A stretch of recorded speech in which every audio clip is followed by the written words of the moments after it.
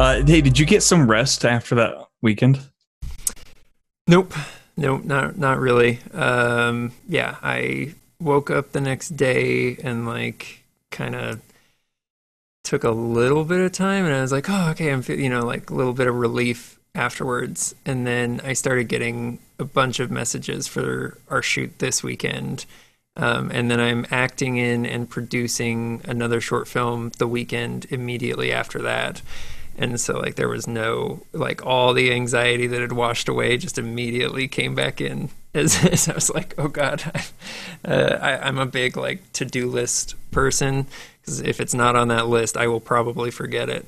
Um, and so I went through and uh, like checked off almost everything other than like the post side of things for the event and then switched over um, and started typing up my to-do list for this weekend and just oh it was it was it was it was more than I was expecting but uh, thankfully I've got um, Justice and Emily who uh, have who do a lot um, to to help relieve relieve what's on my plate.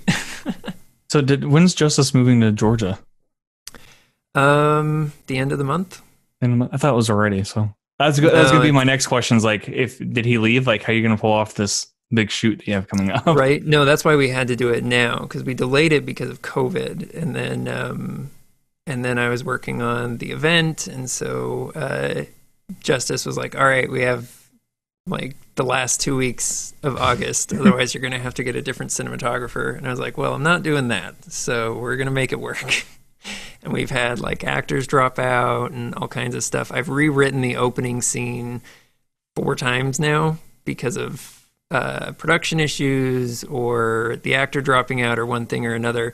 Um, I think what we've got is going to be really, really cool. And I think Justice is really excited from a cinematography standpoint because one takes are always really hard, but really satisfying when you pull them off. So it'll be interesting to see how that all comes together. But I'm I'm excited for it. I think it'll be really good.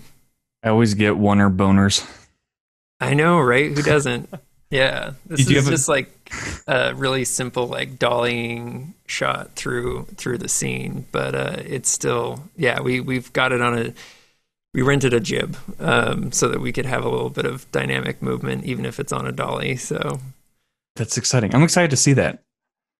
Yeah, I'll have to send you. Uh, I've got a rough cut. Well, it's not a rough cut. Like the other than the opening scene, the rest of the film is pretty much done. I have to edit one one scene that just is isn't quite working, and then we need to trim a couple of shots, just like the little finesses and stuff like that. But it's pretty much done. So I'll have to I'll have to send you over the the cut, and you can let me know what you think. Yeah, dude, for sure. Do you, do you have a favorite oneer? Like, is there a oneer that's inspiring the shot that you're planning? Uh, there's not one that's inspiring this particular shot, and I'm kind of just drawing a blank on like inspiring oneers. I mean, like you said, pretty much any are really fantastic. Um, I don't know if this really counts because it's pretty much entirely digital and CG but like the opening of Deadpool, just like moving through the car and stuff, and then all the credits coming up with it, like I, I love that one. And then, um, I mean, just the default generic answer of like anything that Deakins does is I don't know, he doesn't do a ton of oneers, but just yeah, and anything Deakins does is oh yeah, I I'm in love. yeah, he's it's like he doesn't do many oneers unless it's like 1917. Right. I was about to say, I was like, as soon as I said that, I was about to say, well, there is 1917. I'm like, nah, people know. uh, I think w- one of my favorite oneers is from True Detective. I think it's like episode six in the first season. I still have not watched True Detective. I got to be honest. Like I, I'm so bad at keeping up on movies and like beginning of 2019, Jacob and I, back when we were like trying to do YouTube, um, and then very quickly gave up. made a like most anticipated of 2019. Uh, I don't think I saw most of the movies on that list until 2020. Dude, So, you've been busy though, so cut yourself some slack. I know. I do watch plenty. I like. I actually watch more TV than movies. Um, but the TV I watch is like nothing I would ever make. You know, I, I watch a lot of a lot of kids animated shows, especially because I, I help take care of my nieces, um, and also because there are just some good ones. Like especially on Netflix, uh, like Guillermo del Toro uh, produced and uh, is the like the I'm not sure if he is the showrunner, but he's developed uh, Troll Hunters. I don't know if you've seen that at all, but it's actually a really No. good show, and it's gotten like a couple of spin-offs that aren't as good, but they're still pretty fun. Um, and then I, I watch a lot of like documentaries and stuff like that. I, uh, in fact, thanks to Patrick, uh, just finished up Love on the Spectrum, um, which he's right. Like that, that is a really good show. I have family who are on the spectrum, and uh, especially like there, there were a lot of things I related to in that. Dude, Patrick's like the guru of like reality TV, like docu series, some sorts. Yeah, see, I've never been into reality TV. I was never into Survivor. Like, I watched a little bit of Naked and Afraid, just like clips and stuff, but I was never into reality TV. Um, but yeah, Love on the Spectrum is really, really good. And then I've been watching uh, like Unsolved Mysteries and World's Most Wanted and stuff like that. And then just a bunch of other docs, um, like uh, on Hulu. It's Hamilton's Pharmacopoeia it's just he's a he's a chemist that just like goes around the world and uh, researches and experiments with psychedelics and just different drugs and stuff um, and it's really interesting and there's some really cool stuff in there I'll have to check that out. I I think I've I've been trying to get more into like the alien conspiracy videos because Oh, they yeah. seem so innocent compared to like what's going on now. well i think it's isn't it disney plus has one now. I haven't watched it yet but it's called like uh y- like european ufos or something like that or like Uh, ufo europe. I think it's called ufo europe. And because you always hear about them in america but you don't hear as much about european ones. But apparently there's enough of them to make a, a whole series on it. I gotta check that out then. Yeah, I like I like those sci-fi documentaries where it's like pushing conspiracies that are like more innocent than what's going on now. So Oh yeah, Ancient Aliens is like it's it's the it's one of the best garbage shows. Like it's so it's so dumb, but it is so much fun to watch because every once in a while you get that thing where you're like maybe like that might you know. Uh, and I'm a big science geek. I definitely like I've always kind of believed in aliens, but not like they visited us kind of thing. And like if if they're out there, they we would be like ants or something, you know, just like a passing glance kind of thing.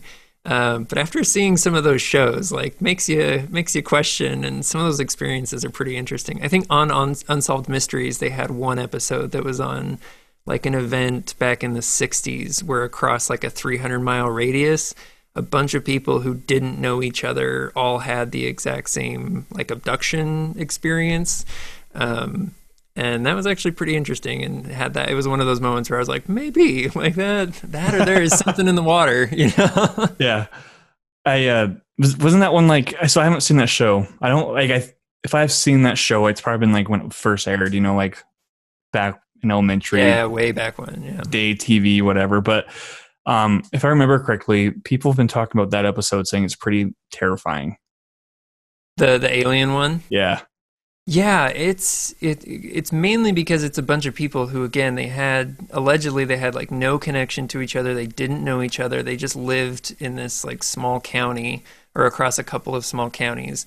And they were all the exact same experiences. Most of them like didn't remember anything but a couple people claim that they did um, and there was one or two that like had alleged witnesses that actually saw the people like get hit with the beam of light or uh, all that stuff so it was yeah it's definitely it makes you question that's for sure You're like, ooh, what if? yeah oh for sure I love it. Uh, yeah, I love those conspiracies. But all right, sir, let's have you introduce yourself.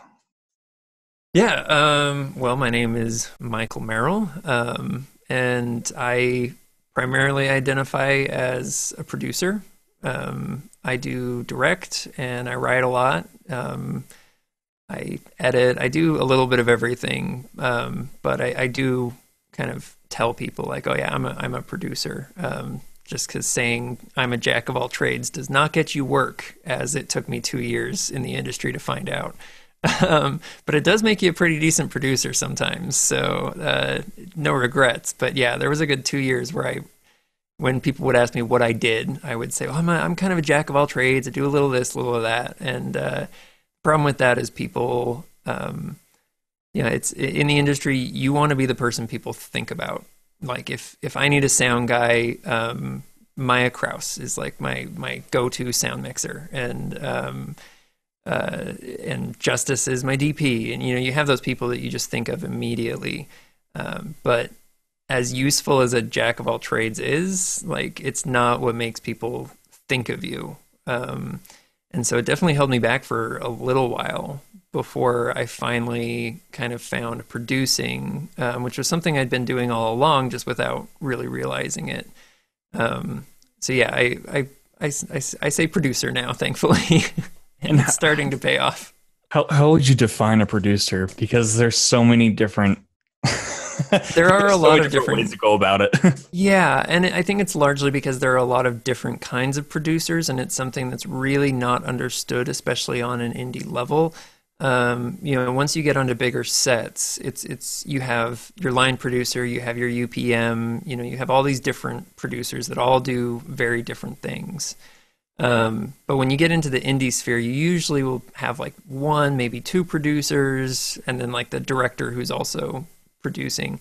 Um, but really, for me, I, I would say that um, I'm not sure about defining a producer, but I'd say a producer's job is to ensure that a production gets from start to finish um, with as much um, quality uh, while adhering as much to the director's vision as possible. Um, because you do have to balance a lot of things. You know, you uh, you you need to pay for everything. You need to you know get an audience for it and get people to watch it. Um, but to, I think good producers are able to do that while still protecting the director's vision.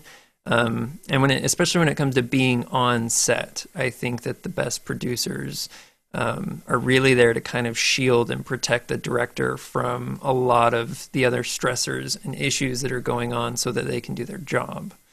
Um, so yeah, I, I, I'd say that that's how I define a producer. and is when did you start getting into filmmaking? Um, so I started in theater when I was really, really young. I was acting. I uh, I helped, like helped write uh, an opera when I was like nine or ten years old. Uh, it was like a school project, and the the person who was doing this workshop. Um, I, I was a very quiet kid and, and sat in the back of the class, but noticed that I peeked up and, and got really interested um, when they were kind of developing the story because it was like a big thing where the kids got to help come up with the story and, and help with the music and they did stage crew and like the whole thing. Everybody got a job. Um, and i uh, the, the, class came up with a story about the um, about like a you know a knight going after a dragon who's terrifying the land you know typical kid stuff. Um, and, and I, I raised my hand and I asked, why does the dragon have to be the bad guy? Because um, I was really into dragons at that time. Uh, and apparently that, that was enough for the teacher to kind of um, take some interest and encourage me to kind of help. You know, so I got to move up to the front of the class and, and help with that. Um, and that just set me off on this path of like just writing. I eventually directed a few short one act plays in junior high and or, or in high school. Um, I acted a bunch, uh, but it was never. It was always something that other people were pushing me into. Like I had no confidence in myself. I did not think like, oh, I want to do this. It's this big passion.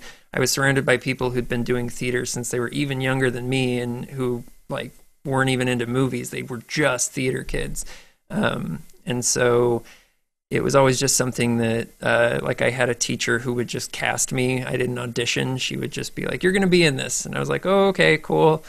Um, uh, and then yeah, I, I, ended up writing and directing a few things, and then I went to Denmark for a little while after I graduated high school. And when I came back, I was very, um, I had no direction. I, I didn't know what I wanted to do. I had no idea how to apply myself, and I was just working retail and stuff.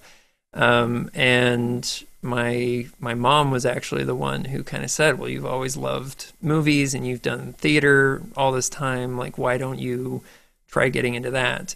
Um, and so I got on some student films and uh, acted in that, and then eventually uh, sort of produced without knowing what it was, just kind of helping with story development and then running production and stuff like that. Um, and then that just slowly led me up to bigger and bigger sets. Um, I was able to get on a, a, few larger projects, but not too many, and a lot of them that never saw the light of day, or you know how how it goes. Um, and then yeah, I I don't remember how old I was when I directed my first film, but it was like maybe six years ago. So I guess I was like 23, 24. Um, and I got really I, I was usually pretty frustrated with the sets that I got on for one reason or another, and so eventually it was just like, well, you know, if I if I think I know better, then I need to try it, try it myself, and not just be that person who like shit talks on on other people.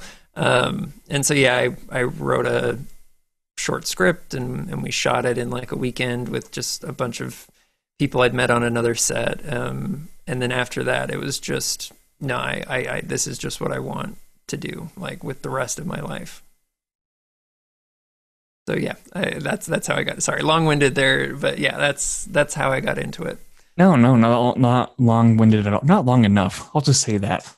Uh, I mean, I can go into more detail. I'm always very nervous about rambling too long because I do have a lot of a lot of stories. But yeah, uh, I, I, was going to ask you the the first short that you did um, with the people you met on that set. What mm-hmm. what genre was that? Like, what kind of short film was it?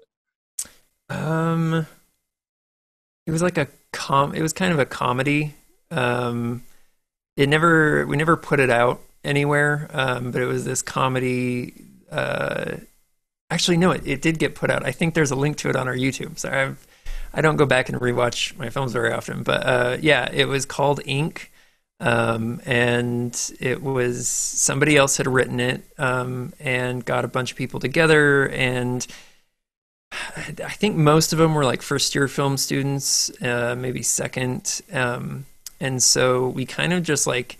All right, who wants to do this? And then someone would raise their hand, you know. And it came. I, I was quiet and um, let other people speak mostly out of just like I don't know how to do anything. So um, eventually, the only two things left were cinematographer and director.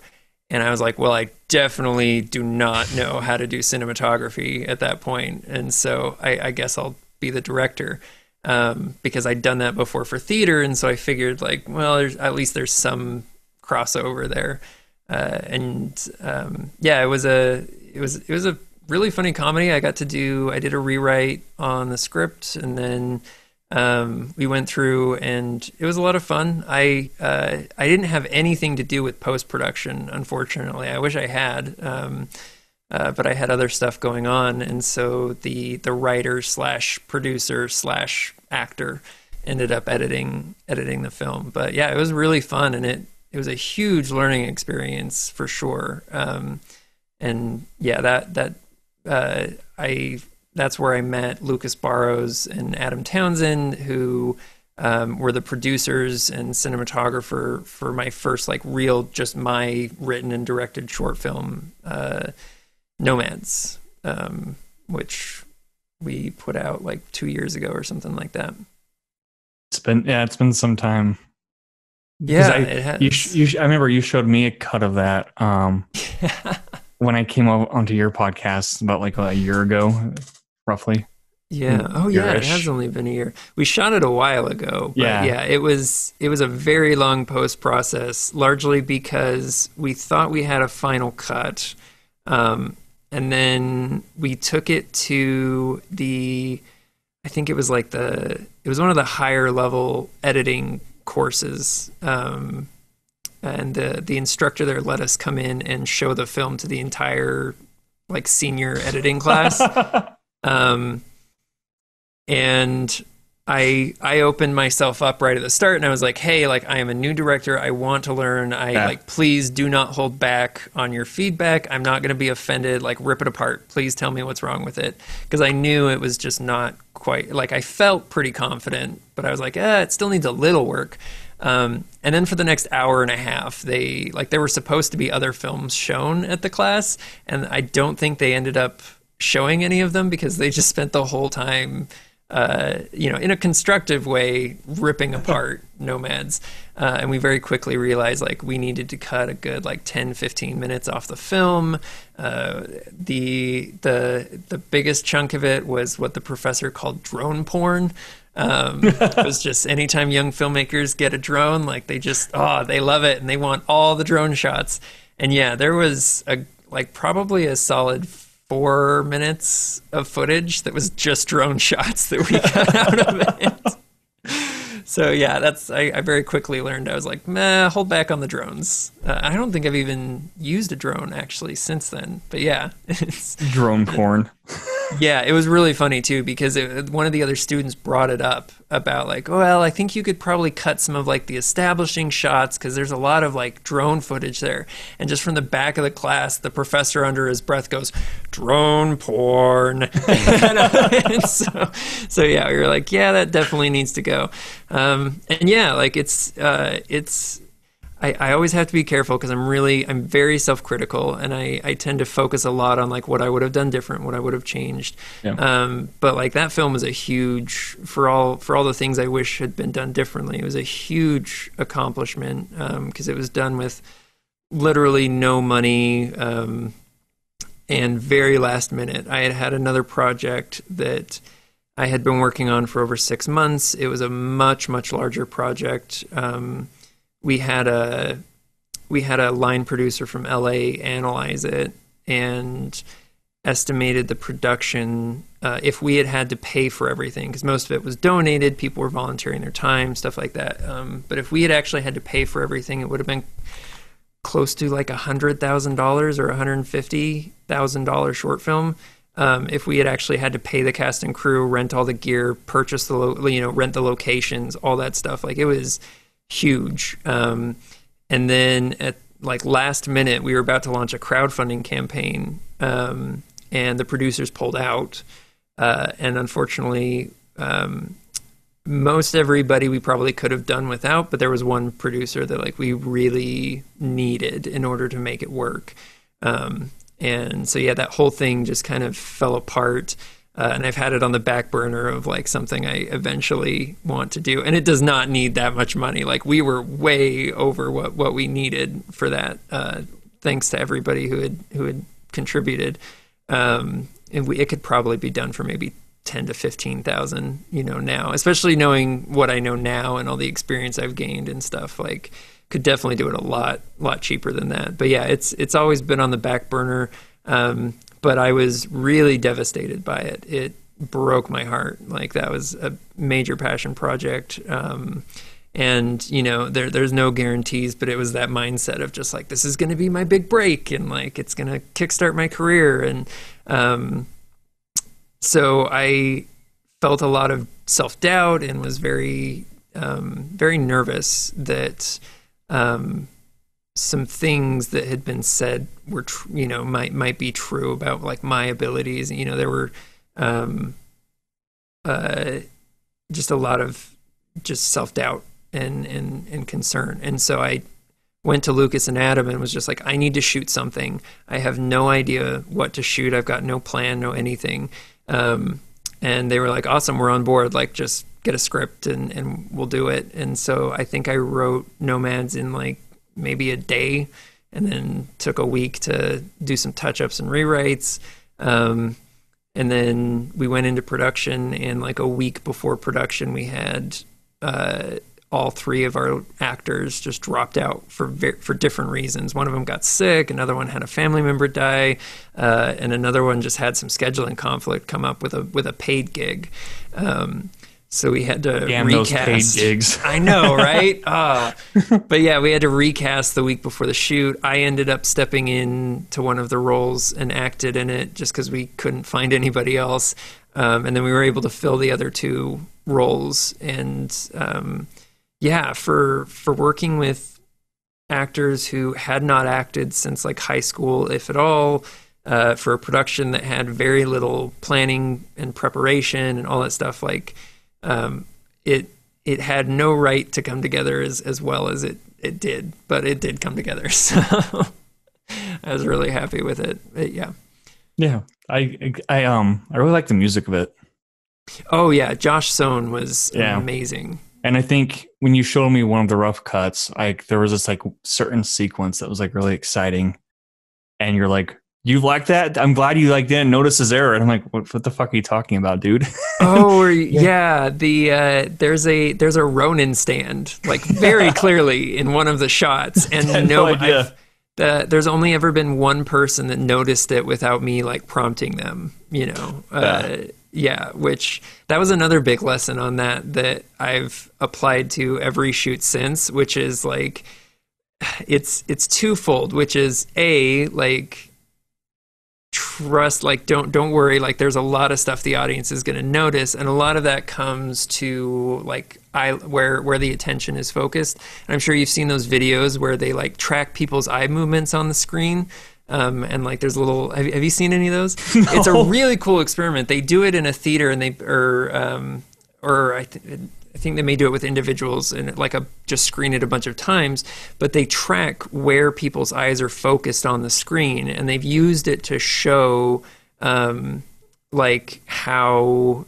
um, people's perception is so like unreliable, um, and things that are, uh, but also as a cinematography tool um, to show like how to like with editing and stuff, particularly action um, making sure that the audience doesn't get disoriented by uh, keeping the place where your audience's eye line is focused in the same spot between cuts.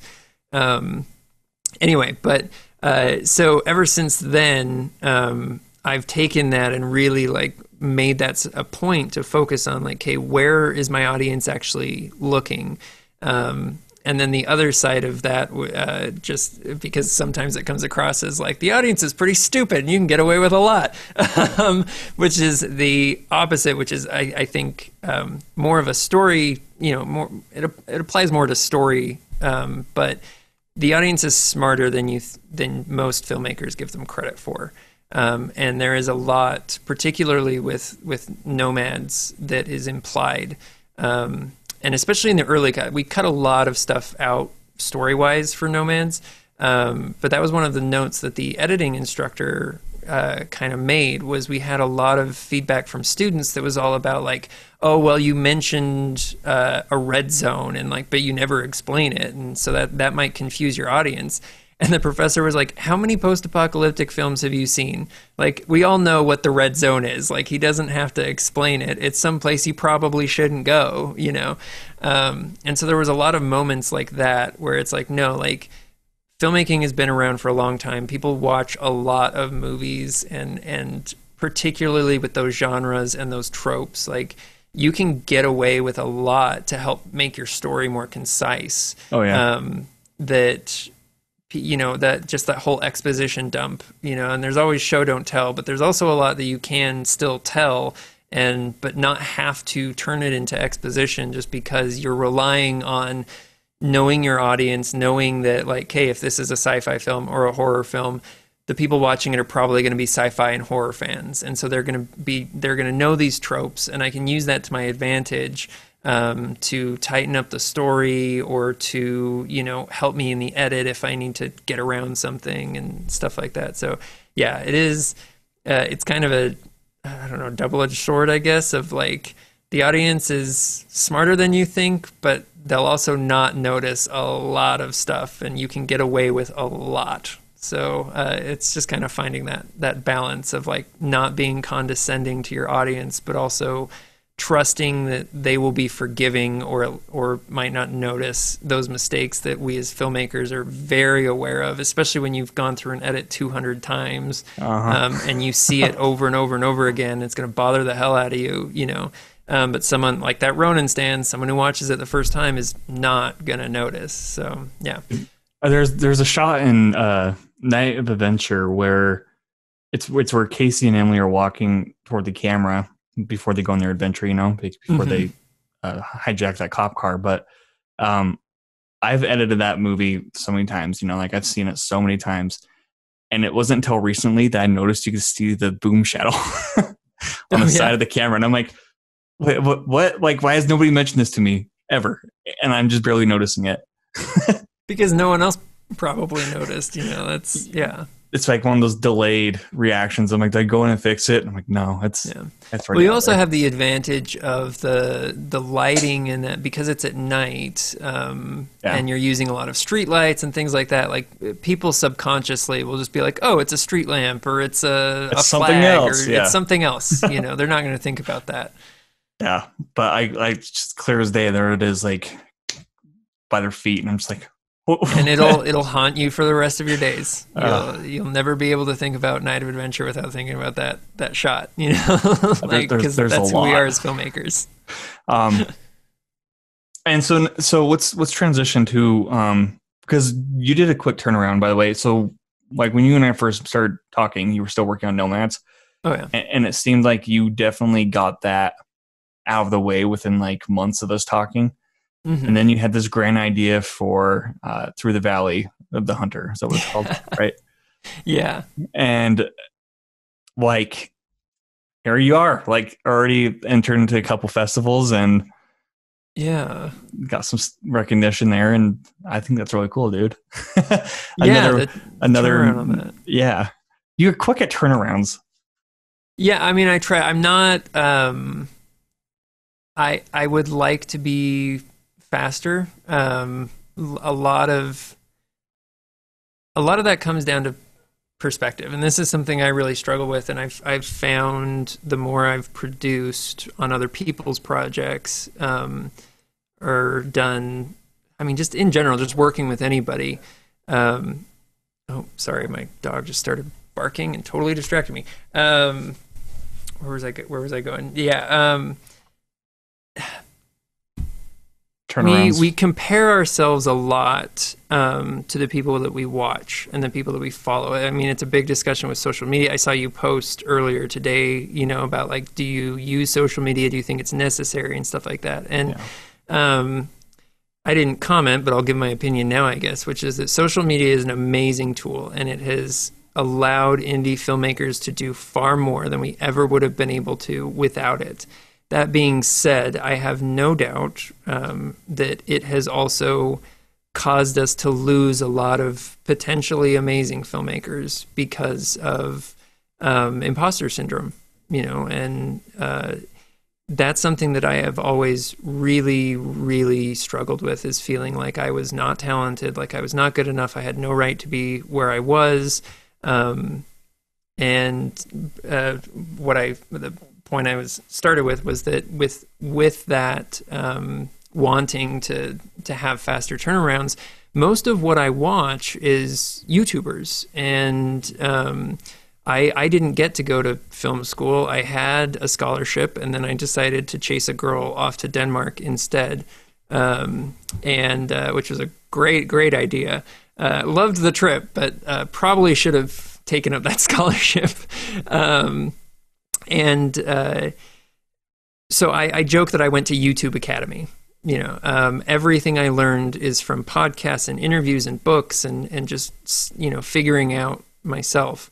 Um, and that's awesome. But when you are comparing yourself to people who are doing YouTube, um, they have much faster turnarounds. Their shorts are one or two minutes long. If they're making short films, you know, they're um, they've had a lot more practice with lighting because they're constantly doing their own setups. You know, there's all these different things that you can compare yourself to that it's very easy to forget that you are on completely different paths. Even if they're talking about filmmaking, you are on a completely different path than they are, you know, and that's been a really big thing that that Jacob um, and I have have had to work through is knowing what our long-term goals are, knowing what what do we want to be as producers, as a company, you know, as a brand, um, how, what what is our path, and um, it's very easy to get things muddled up, you know, and uh, that that was a big big learning curve. There was was finally figuring out what that was and what we wanted to be, and then and then working backwards from that long term goal of like, okay, what do we need to be doing now, and who should we be comparing ourselves to in terms of like are we putting out enough content? How fast are our turnarounds? Are we putting the right resources in the right places and, and that sort of thing? Um, so while we do have relatively fast turnarounds on our shorts for what they are, um, I'm always in that back of my mind, like I'm not doing enough. You know, uh, my first year, um, once we started the company, uh, I directed six short films and produced three or four. Um, and then the following year, did, uh, well, I guess the following year was three short films. Um, and this year we've shot one and we haven't even released it yet. Um, and then obviously we've got COVID to deal with, but even that aside, you know, um, it's it's definitely been something kind of eating at the back of my mind that like well, I need to be doing more. You know, I'm I'm not doing enough. I've only put out one thing, and um, you know, everyone responds with, "Well, you've also, you know, you produced a film festival, and it's a much larger. Like the film that you're working on is much larger. It's like three times the budget of anything we've done before. Um, much uh, slightly larger crew, um, and we have bigger plans for what we want to do with it once it's done. Um, but it's hard to remind yourself of that, you know. And I think that's going back to what does a producer do. I think that's one of the important things that you need as a director in a good producer is someone who's going to understand what your goals are with each project and kind of help remind you or put things into context of like you're doing okay you know you're you're you're you're on the right track or you're doing the right thing you know just to kind of uh, kind of fight off that imposter syndrome a little bit, you know. And I've been very lucky to have Jacob and Emily, um, who are my producing partners, and and they're very good at at helping calm that uh, anxiety inside of me, and just say like, no, we're doing okay, we're doing awesome, you know, like take a moment to to appreciate everything that you've accomplished because as creatives most of us are just constantly thinking about the next thing and the next thing and the next thing, and we don't stop to kind of look back and acknowledge um, all the work that we've put in to get to the point we're at. You know. Yeah. Um. No, that's fair. Sorry, I, I, totally forgot what the original question was, and I just went on this he, another long like tangent. I, I do that a lot. no, no yeah. we are just talking about turnaround rates, but um, going back to that whole social media thing, uh, because like I've the only reason I asked that question on Facebook is like, you know, as an artist, do you use it to promote it or do you use it to socialize? Like, like how do you actually use it? It, it seems like because like, especially during COVID and during like an election year, like it's just so much negative articles. There's so much yeah. misconceptions and so much misinformation, and like nobody's gonna listen. There's like you could be as civil as you want online, and like you could feel like you you've made discourse right, like a positive impact by trying to discuss different viewpoints. But like, point of the matter is, nobody's going to give a fuck at the end of the day. Yeah. But the second they close their Facebook down, they're not gonna be like, I had a really interesting conversation. No, they're gonna be like, wow, fuck that guy. I'm, you know, either unfollow or block or, you know, like just avoid commenting in general. And so, and like I've fallen into the trap of being kind of political on it. And mm-hmm. I've worked, I, I tried so hard for like the past year to refrain from it. And then, of course, shit hits the fan early on in the year, and like I get sucked right into it, and I'm like, I don't care who knows my viewpoints, whatever. Then now I'm just like, maybe I shouldn't, you know, like take it back, take a step back, because like it's in the end nobody's gonna care. Like if anybody who actually cares would actually like want to have this conversation like in person or whatever, you know what I mean? Yeah. And yeah, so it's, it's and like it's I don't know. It's what, what were you gonna say? Oh, I was just gonna say it's a. I mean, it's it's really difficult because you know we we want to, especially when it comes to social issues like that. Like, you know, we, you know, regardless of what side of the aisle you fall on, you think your opinions are right. Yeah. And especially in these social issues, it it makes those opinions far louder and more passionate. You know, in the way you think about them.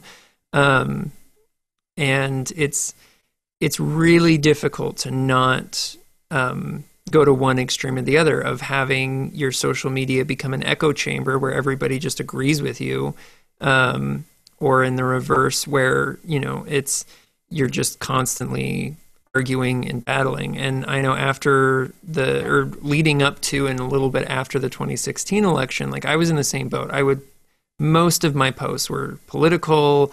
I would get into huge debates and comments and stuff like that. Um, and I very, you know, like you said, very quickly realized nobody cares. It doesn't really make any difference. Um, I have found that you can make some difference with, you know, the occasional good discourse and and um, being non-combative with the way that you present your information and, and stuff like that. But even doing that, it's incredibly difficult. You know, we we try. I try very hard to just present facts and just to, you know and and to not um, to always kind of come from a place of assuming that the other person is not um, an idiot or evil or ignorant or anything like that, but maybe is just misinformed or they have a different background and things like that. But even doing that a lot of the time, it still comes down to like, oh no, this person is just an idiot, or they just literally will never change their opinion no matter what information you present to them, you know? And so for me, I've, I really had to kind of shift focus. And I think, I don't know if this is 100% true, but in, in my head it is, which is that um, I'm pretty sure that the majority of the friends I have on Facebook and Instagram, or at least on Facebook, um, don't actually follow me anymore because of all that stuff from years ago. And they like unfollowed me because they got annoyed and then never yeah. re-followed me. Because I'm like, there are a lot of people who like, I know I'm friends with, and they would totally be like liking my posts or sharing the films or whatever else, but I never see them comment or like or do anything. And then I think about it, I'm like, yeah, I probably just annoyed the shit out of them, and so now they don't they don't follow and they just don't think about it anymore. You know, so it can damage you even if you're on the right side of history. And so I've found that for me, like I've just moved. I, I'm still very passionate about those issues. I've just moved it off of social media. You know, where it's like if I'm in person with somebody and they present some misinformation or something inaccurate, like I very quickly will try and correct it. And I do still get into some debates and arguments in real life, but at the very least, if it's in real life, you have another person in front of you um, that you can empathize with, and that at the you know at the end of the conversation, even if it was a screaming argument, you know, after a few minutes, like you kind of let that slide, or you you're kind of like, ah, whatever, fuck it. Like you know, it's it's a lot easier to not carry that with you because you're you're literally not carrying it with you in the form of your phone constantly where it's going off with notifications you know and, and stuff like that. So i think it is important for us to use social media as a tool um, but i think it needs to be used very carefully and you need to have a purpose when you go in to use it. And um, there have been many you know rants that i've I've fully typed up and then like deleted immediately after, you know, or just like self pitying bullshit that I was gonna post. That I eventually was like, ah, no one's gonna, no one's gonna care about this, and nobody wants to see this in their feed. You know, it's about thinking and and kind of trying to apply this to film. It's about thinking about what you want to put out there. You know, like yeah, I can be angry, and it is important for some people to have that passion and to be angry and to fight for the things that they believe in because that's how we get change. Um, but particularly as artists who are more sensitive to those things, you know, it's very important for your own health, mental health, um, to think about what you're putting out there and the effect it has. And I think that's the same way with our films. You know, um, my I I don't think most of my films are amazing. I'm, I love them and I'm very happy with. But I you know I I compare myself to people who are way above me um, because I'm comparing them to where I want to be eventually.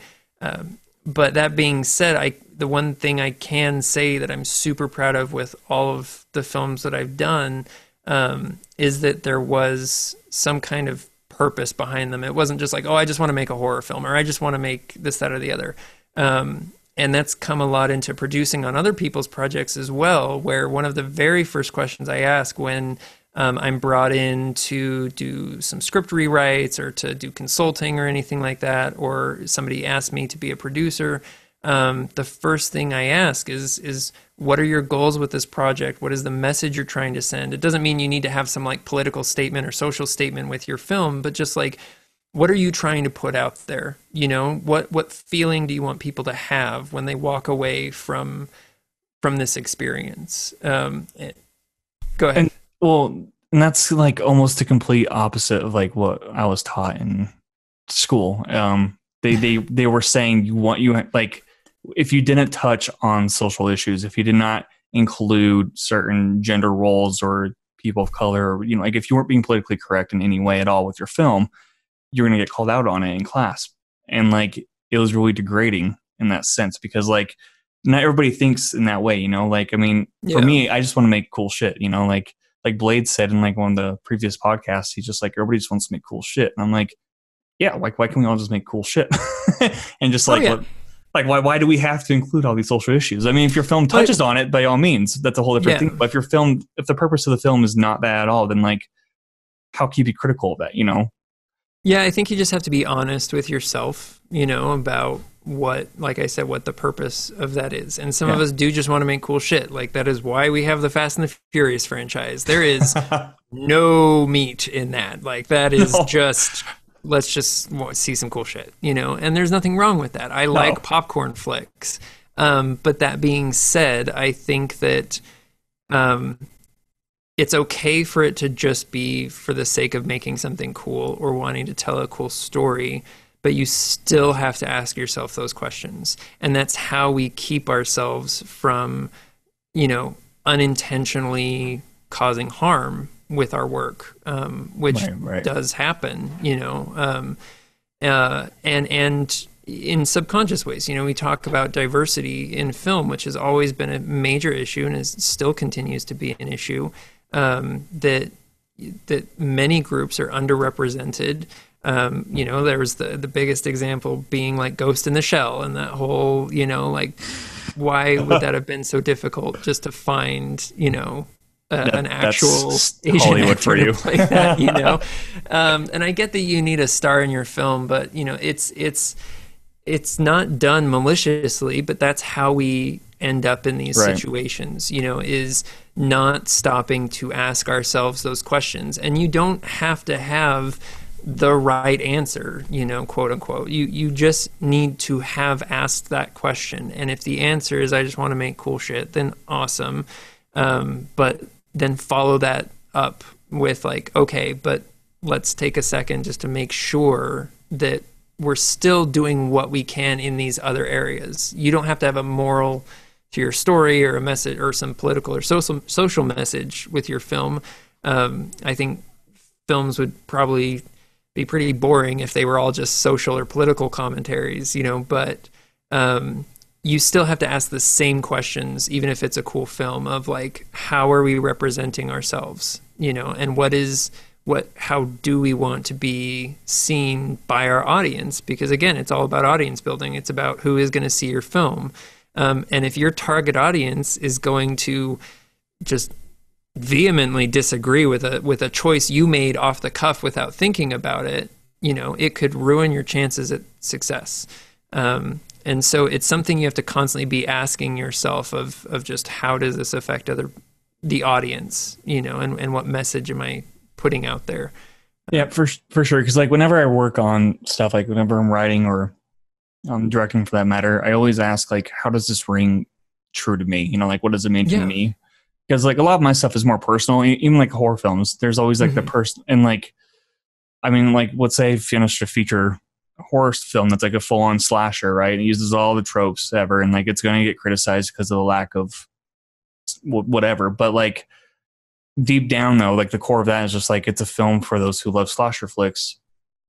And like if I get excited about some of the stuff that happens in it, then like other people will too. You know, hopefully. Oh yeah, fingers crossed. But um, no, I, I agree though. Like you always have to ask yourself a question of like, why am I doing this, and like what does it mean? But like there there are people who try to cancel people who don't put more of a thing on there and i mean that oh, yeah. kind of ties back into the whole social media thing because like if as artists if we're if we can only promote our stuff and not be human and be open to being flawed right then like i mean being in the media uh, you're going to be held on a pedestal of some sort like, people are going to have the spotlight on you and then there are people who are going to go back into your past like we've seen with comedians, and they try to cancel these comedians.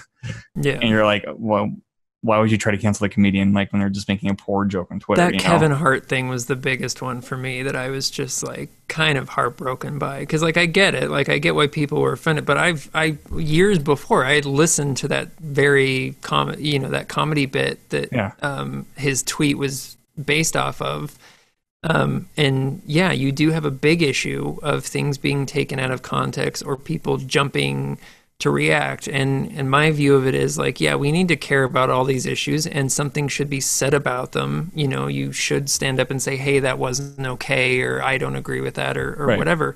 Um, but it's about nuance and i think that's the biggest thing that has whether it's political or filmmaking or social issue it, it goes to everything in our culture right now not just in America. I have a lot of friends across the world, and, and they see similar things in their social media feeds, you know, of just this lack of, of nuance in discussions and in films and in, you know, in everything that we do.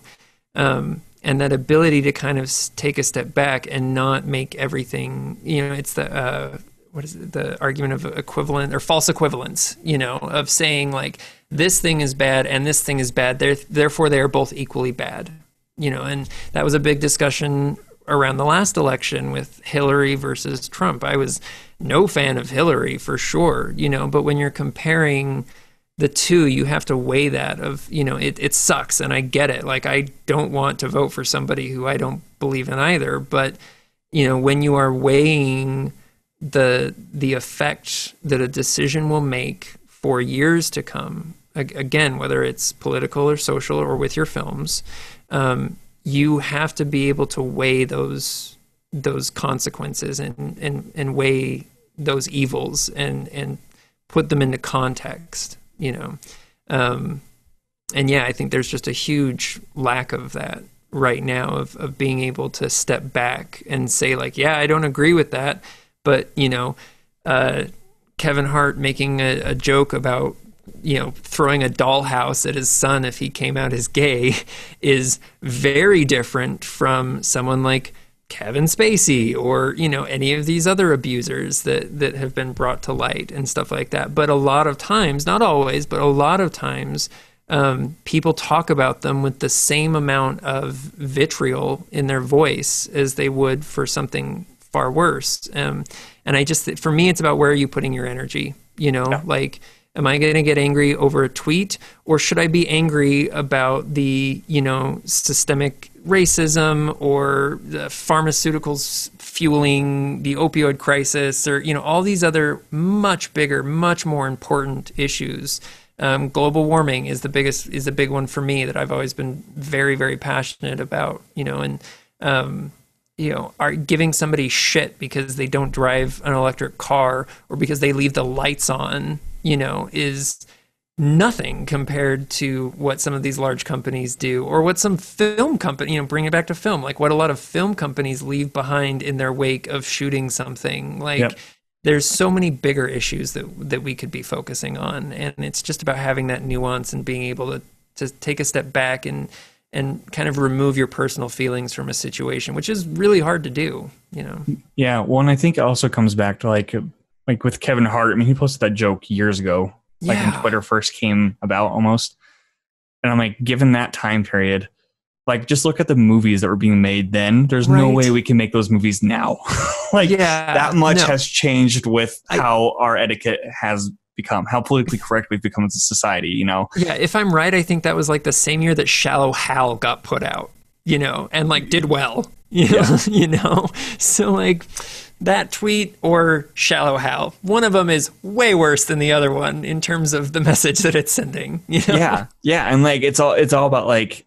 I mean, there's somebody who will find like old '80s movies and get pissed off about every single one. And I'm like, it's the '80s. Like that's Yeah. like the time period. Like you can't be. I mean, if you don't like the film, that's that's fine. Like nobody's saying you can't like the film, but to be overly pissed off at it, like you're you're choosing to get pissed off at it at that point. You know, like I I, I don't know. Yeah, no, it's the same with like people who say that like you know after Kevin after the Kevin Spacey thing using him as an example, they were like I threw out all of my movies with Kevin Spacey, and I was like, I mean, don't get me wrong, like I hate the dude too, but like you you're gonna Seven's a tell me that film. yeah seven, and you're gonna throw that out because he's in the last five minutes, or the usual suspects, you know, or like all these other classic films, and I think that that's a big thing right now, um, especially with entertainment, of just like, you know, there was that whole issue with like Tina Fey and 30 Rock with that blackface episode and, and a bunch of other things like that that have been going on recently.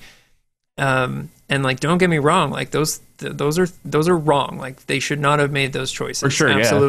Um, but I think it was on uh, Gaggle of Geeks that you guys actually talked about this. I, I don't remember exactly, or it may have been your podcast, your last one with with Patrick. But I'm pretty sure it was me. I was listening to you guys talk about this thing, and it's this idea of like, no, like do what like Disney did with their films, where you just put a you know a, a warning thing on it, in yeah. front of it you know because it's about educating and i think you know going i, I know we're kind of bouncing between film and politics and social issues and stuff It all like, goes hand in hand, though. for me i think what my something i've been very passionate about for a long time before i wanted to do film i wanted to be a teacher um, and I, I think that most of the social um, and political issues in the world right now can be traced back to a lack of education.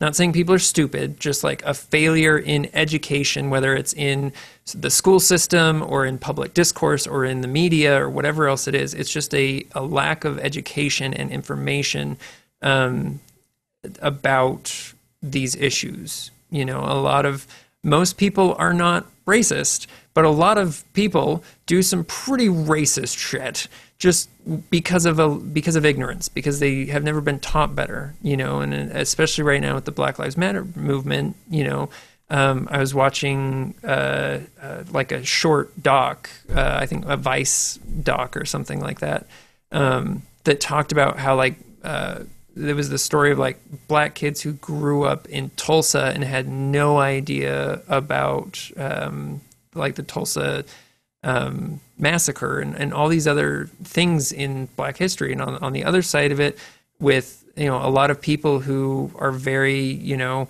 um, patriotic and, and love the flag and they love the country and stuff, but then they have these really kind of weird uninformed views of how American history has gone, you know, and um, again, it's that nuance thing. It's like, well, you, you're telling if you tell me that there is something bad about the thing I love, you're saying that I am equally bad for loving that thing, or or that I shouldn't love that thing, um, and that's not the way to convince people of anything. And kind of tying this back into filmmaking because I'm trying as much as I can so that people will stay, stay tuned in and not suddenly turn into a political show.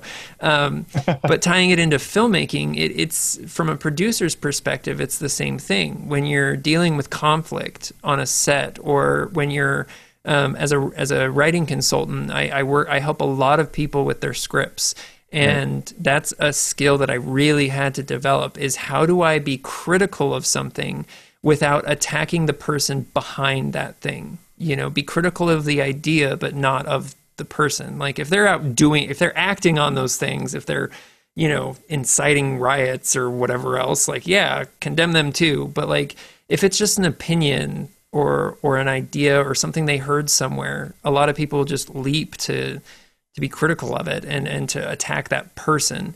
Um, but uh, they're they're just going to shut down. And it's the same with giving feedback on a film script or or in an edit. You know, is you have to find ways as a director or as a producer to communicate your ideas in a way that is not critical or attacking or anything like that. And even when you're dealing with heavy conflict, where like I've had to kick people off of sets before, you know, and being able, like finding a way to, to basically say you're fired without like turning it into a huge screaming argument because then it just sets the tone for the rest of the crew who's still there. And like you know you've you've got to be able to communicate in in a in an amicable way while still standing your ground and and getting your point across. And sometimes I've I've been told that I can kind of like kind of hound on a point a little bit too much where I'll just say the same thing in like 50 different ways. But eventually I say it in a way that it does connect with the person and they may not agree with like my solution to the idea but they understand the problem and then they're more willing to work with you on a solution. You know you have to come together about what the problem is before you can determine a solution for it and i think a lot of um, a lot of acting coaches a lot of script consultants you know a lot of writers that they or directors they have that issue of they present their idea for the solution without ever stopping to establish what the issue is you know and so they feel like the other person is like oh you just want me to do what you want instead of helping them to understand why what you want might be a better option. Right. And I, I okay, it's kind of weird to tie it back into philosophy of all things. Uh, mm-hmm. Because in that class, they you know they they teach you pathos, logos, and ethos. That was my favorite class in high school, by the way. It was philosophy. It was one of the only my senior year. I skipped a lot of school, and like that was one of the only classes I went to was philosophy. Well, and you you have to have all three components to make a compelling yeah. argument or to sound at least compelling at the very least, you know, depending on like what evidence you're giving or whatever. But even in that class, when you were disassembling arguments or why you disagreed or how their arguments could be improved, you would still hit all those marks and like it wasn't criticizing the person who wrote the book that you're supposed to write on or you know their, their viewpoints it was criticizing their viewpoint and like how it could have been better or better yeah just yeah. in that sense and i think i mean I'll tie this back around in a full circle. So like, and going back to social media real quick, I think a lot of people don't even know what that is. They they they yeah. have a lot of fallacies and straw man arguments. You're just like you would fail, and like uh, that's where kind of, I, that is where I get frustrated is because you know I do have like the academic background where papers were a thing. We had to list sources, like we had to do so mm-hmm. much research, and like if we even attempted to like list any of the sources that these misinformed people list, like we would have been docked without a hesitation, you know? And so like that's kind of the frustration there. But like you said, you have to take the step back and realize that they don't have that and they yeah. don't see it that way. But going back to screenwriting, like you said, you apply the whole the, the same things, you know, like like where's the logic at, where's the emotion, and like how is it making people feel? Boom. Yeah, abs- absolutely. And I, I I do think philosophy of all things taught me that. And also being in a screenwriting class, I mean, kind of teaches you how to constructively give feedback without shitting on the person. yeah. And it's, it's, hard. It's a hard thing to learn. And, and it's sometimes a different it's form not of, your fault. Yeah. And it, it like, is a different form of feedback too, you know, and, yeah. and sometimes like I've had people get very defensive and yeah, it's just yeah. we'll just say, yeah, and it's not always you, like the way you are presenting it. You can present your argument perfectly and still have the other person just get defensive. You know, you have to understand that it's two different personalities, and yep. and that's like one of the very first things you need to understand as a producer or as a writing consultant is before you even touch the script, you need to understand the person behind it so that yep. you not only know how to communicate but know where they're coming from like you said what were your intentions with this what you know okay this worked but this didn't you know and being able to communicate with them um, at the at, with core ideas instead of big overarching concepts right. or, or, little minute details you know what is the core idea of this and um, with even personal writing, you know, away from consulting, but just with writing in general, that's something that a lot of people struggle with in themselves is is trying to figure out um, and applying not just with the entire script,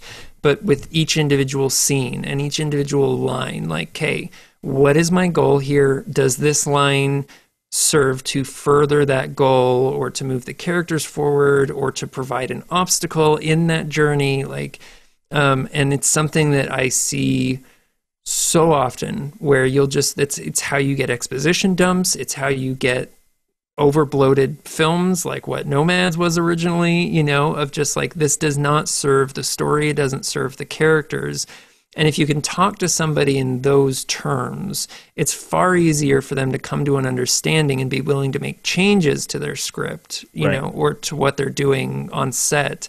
Um, not just with writing, but you know, if, if somebody's like misbehaving on set or something, or doing something that that is distracting, like you have to do the same thing of of helping them to understand why what they're doing isn't working um, before you just attack what they're doing and making it a personal issue. No, exactly. I agree, and I, I mean, I like being a like what's going like screenwriting, right? Being that kind of a writer is a different kind of writing anyway. And so, if you give your script to somebody who doesn't understand how screenplays work to give feedback, it's going to be a whole different feedback than somebody who knows screen scripts and oh, also yeah. knows you. And because the feedback's gonna be completely different. Like, I mean, if you read somebody's uh, prose, like you know, if, if they give you a short story to give feedback on, it would be very much different feedback than somebody who's actually like an English major who understood that kind of writing because they're just the, the two forms of writing are so different. But and you need both. You you do need both, and you really need both. And that I've actually so I've I've whenever I get in this, these ruts, you know, like these these writing ruts, I try to like lay off of not only social media but like also like screenwriting in general. Mm-hmm. and i'll switch like poetry or like um novels because i feel like novels can actually help you with like vocab uh and how to describe things because they, they they can expand on the exposition all they want and not get in trouble right? And yeah.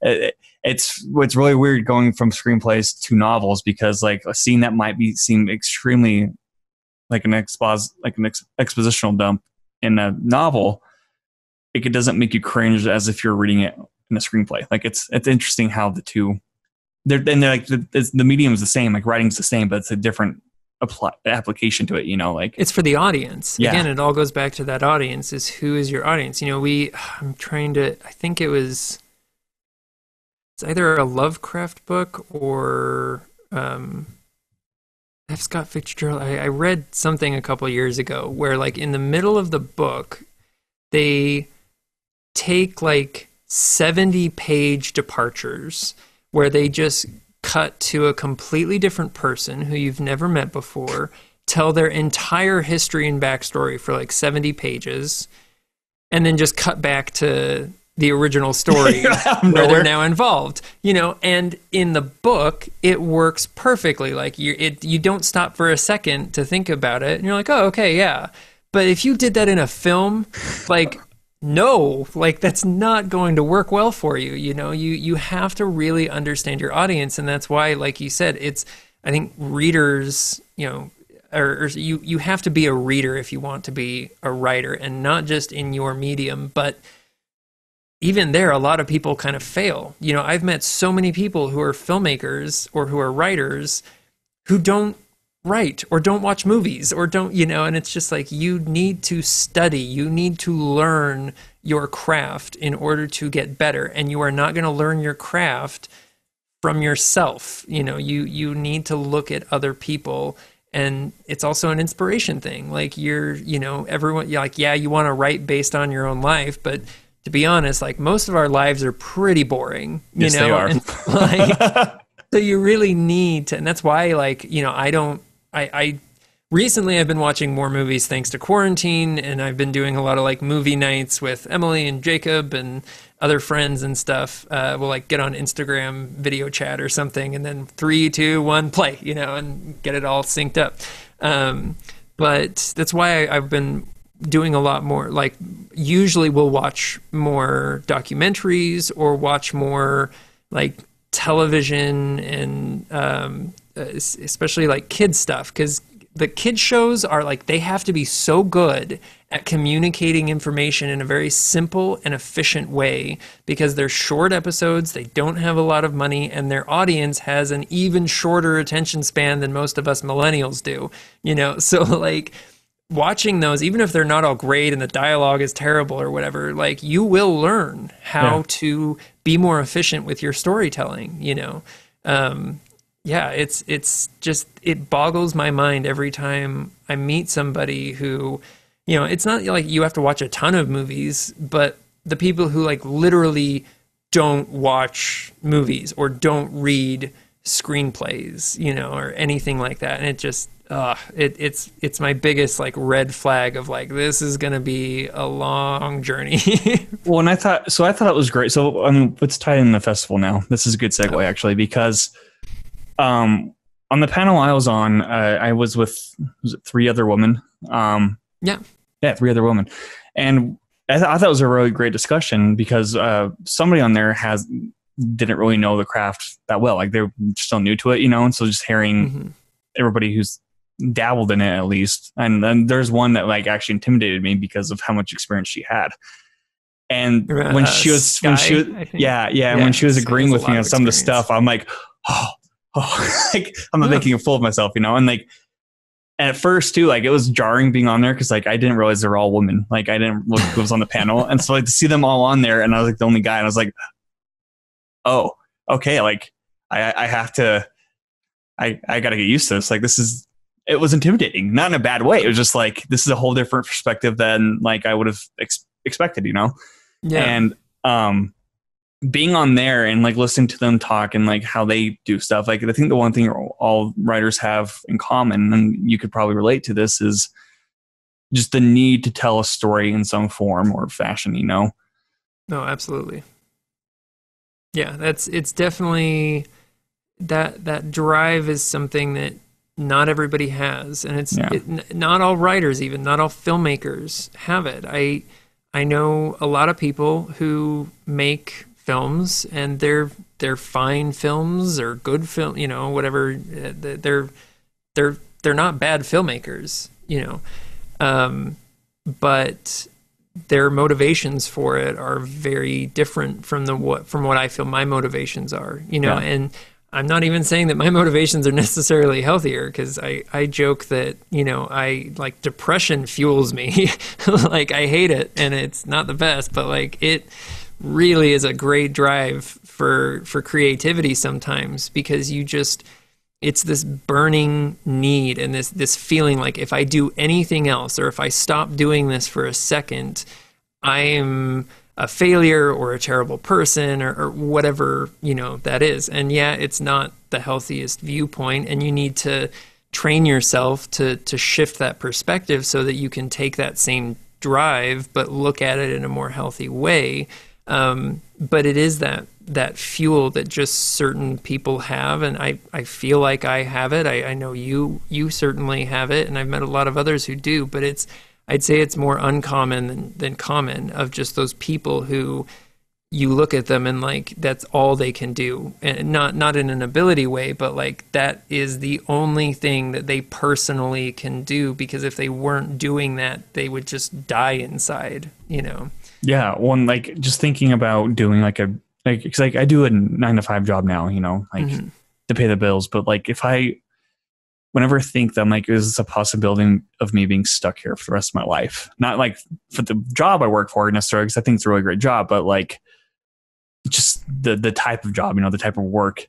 And it depresses me. And like it makes me think about how my parents did that. And I'm like, how how are you guys not going crazy? Like I would be tearing my eyes out. Like yeah, and some people are very happy in those jobs. You know, I I I worked uh, I waited tables for 10 years and worked in retail and all that other stuff and yeah. like I met people who were almost as passionate about waiting tables as I was about filmmaking, you know, and, and it's just about finding your your your drive, you know, and and finding peace in in your path. Um, and even once you find that path, finding peace in in the acceptance that it's going to take a while, and and that um, you know, I especially when it comes to day jobs, like I've struggled with that, and there have been times where like I have not made the right choices um, because I was like, no, I'm a filmmaker, and I don't want to do anything else other than other than film, you know. Um, and so I took jobs that I deeply regretted um, that were in the film industry because I was like, well, doing this is better than having a day job and waiting tables, you know. But it was like for scam talent agencies where I felt way worse than I ever did waiting tables because I, I knew, even though I maybe, you know, didn't acknowledge it at first, that like, oh yeah, these people are just taking advantage of these actors and not providing anything in return.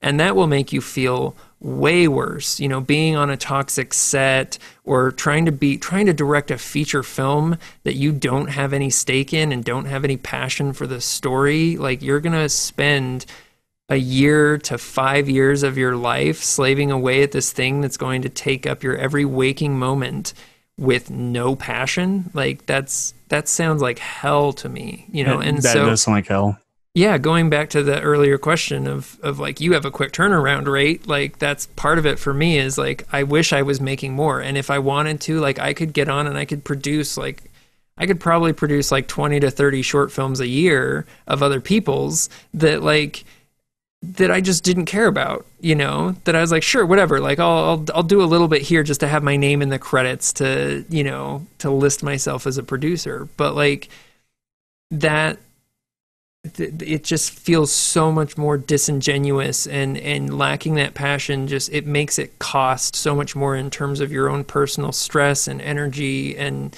self-esteem at the end of the day. Because i mean imagine having to do q&a panels for a film that you like not only didn't like but actually hated the experience of working on.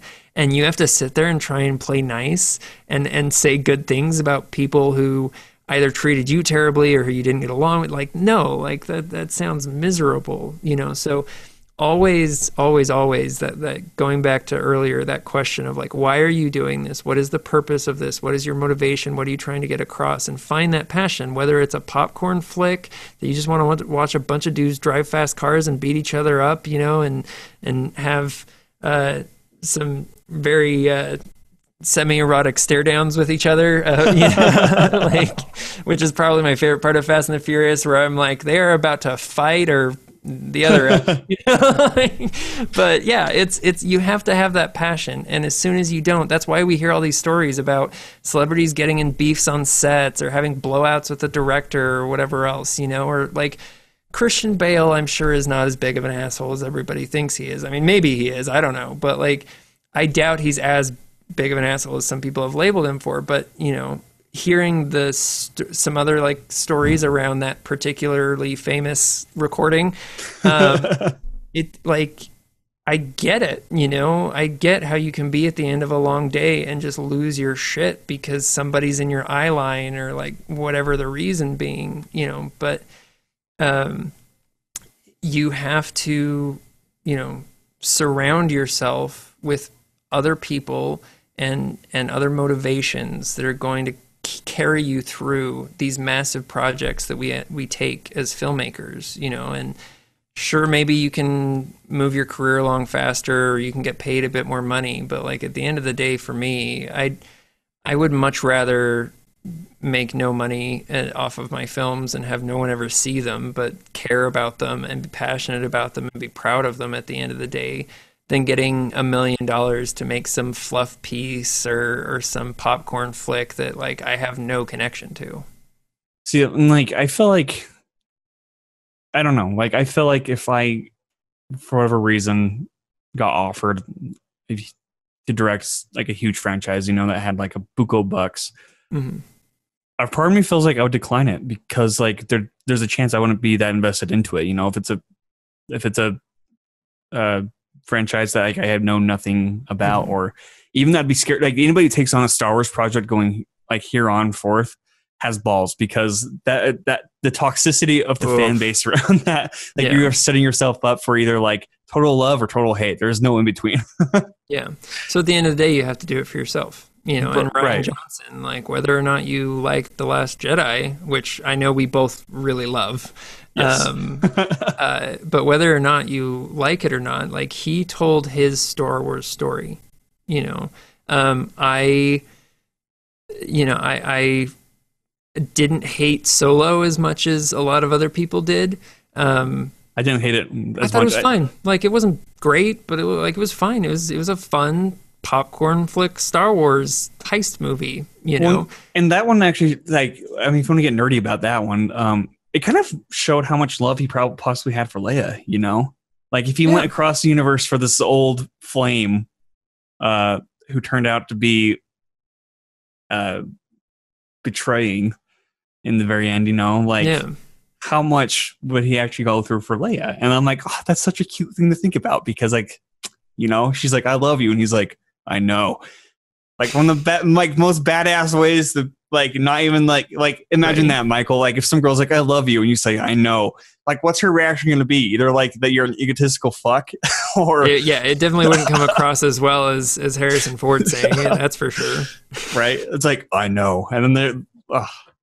I, don't know. I, I I like Star Wars movies I just think anybody who takes that on going forth is Yeah. playing a fire That being said, I would absolutely do it under the condition that it would be like a spin-off or a, you know, um, I actually wrote uh, and started producing before I pulled out because of a bunch of other reasons, but I actually wrote a um, a fan film. And well, I got asked to help write a fan film. okay. Um, and my conditions for it going in was that it had to be a completely original story, um, and that it would have as little to do with the larger Star Wars universe as possible, so that we could tell our own story, you know, and and that it wouldn't be relying on like nostalgia or any of that other stuff.